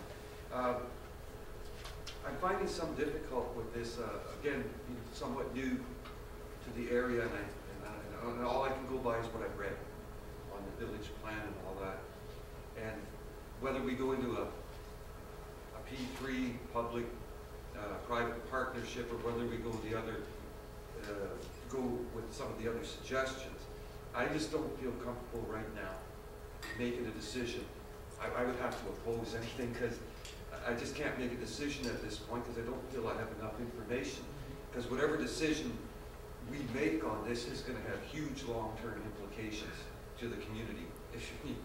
It's going to affect them for years.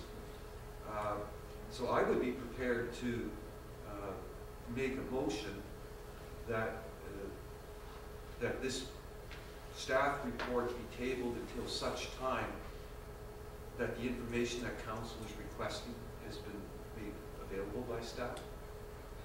I'll second it. I- Is it necessary to table this uh, until then, or we've given you, we've given direction already? You know, it, it's appropriate to table the, the report because the report would be brought back along with, um, doing a presentation. Great, thanks. And we have a mover and a, and a shaker. Uh, uh, Any further discussion? Any- Oh, on table motion, there's no discussion, so I'm going to call the question. All those in favor? None opposed? Ms. Snyder, you're in favor? Uh, no, I have a question. Um, are, are you requesting that we bring back more expert advice, or are you requesting, like, uh, that we actually engage someone to come in and talk to council about the various options? Uh, We, we've requested that you bring back more expert advice. If you have to engage somebody, please do. Okay, thank you. Thank you. Uh, We are now at the public question and comment period.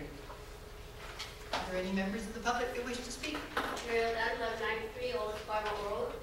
I'm absolutely horrified that you folks passed the fact that we could have uh, further loans or paydays or whatever you want to call them. I agree with Councillor Morrison. Uh, This particular uh, that hopefully we're going to get is exactly what we need. We need more people here. Uh, We have five already, five paydays uh, or loans or whatever they're going to be, and our census is going down. Why in the world would we want our street cluttered up?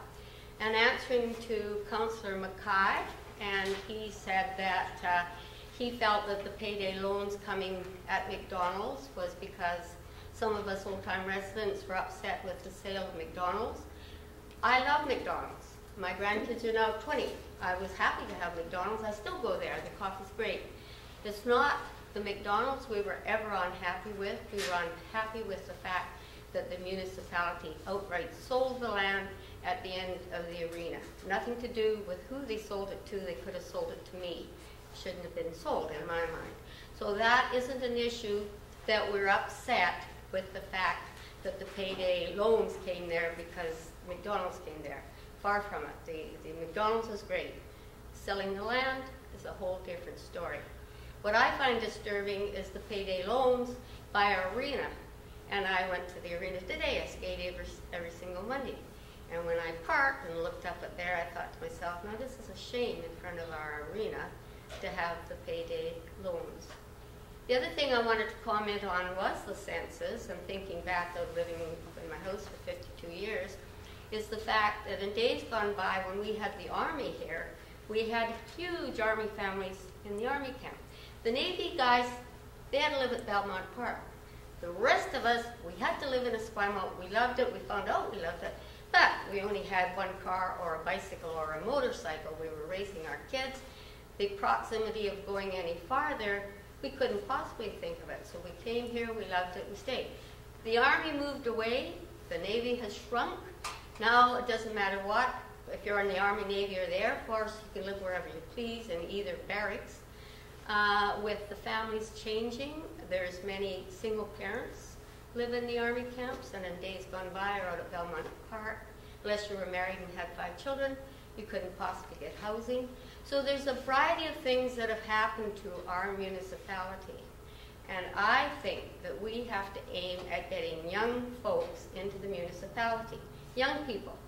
I recently on Saturday went to listen to a developer and he said he was having 12 stories upper end, moderate to upper end. And I'm thinking, how can we accommodate young folks with moderate $600,000 unit condominiums? That is not inviting young folks.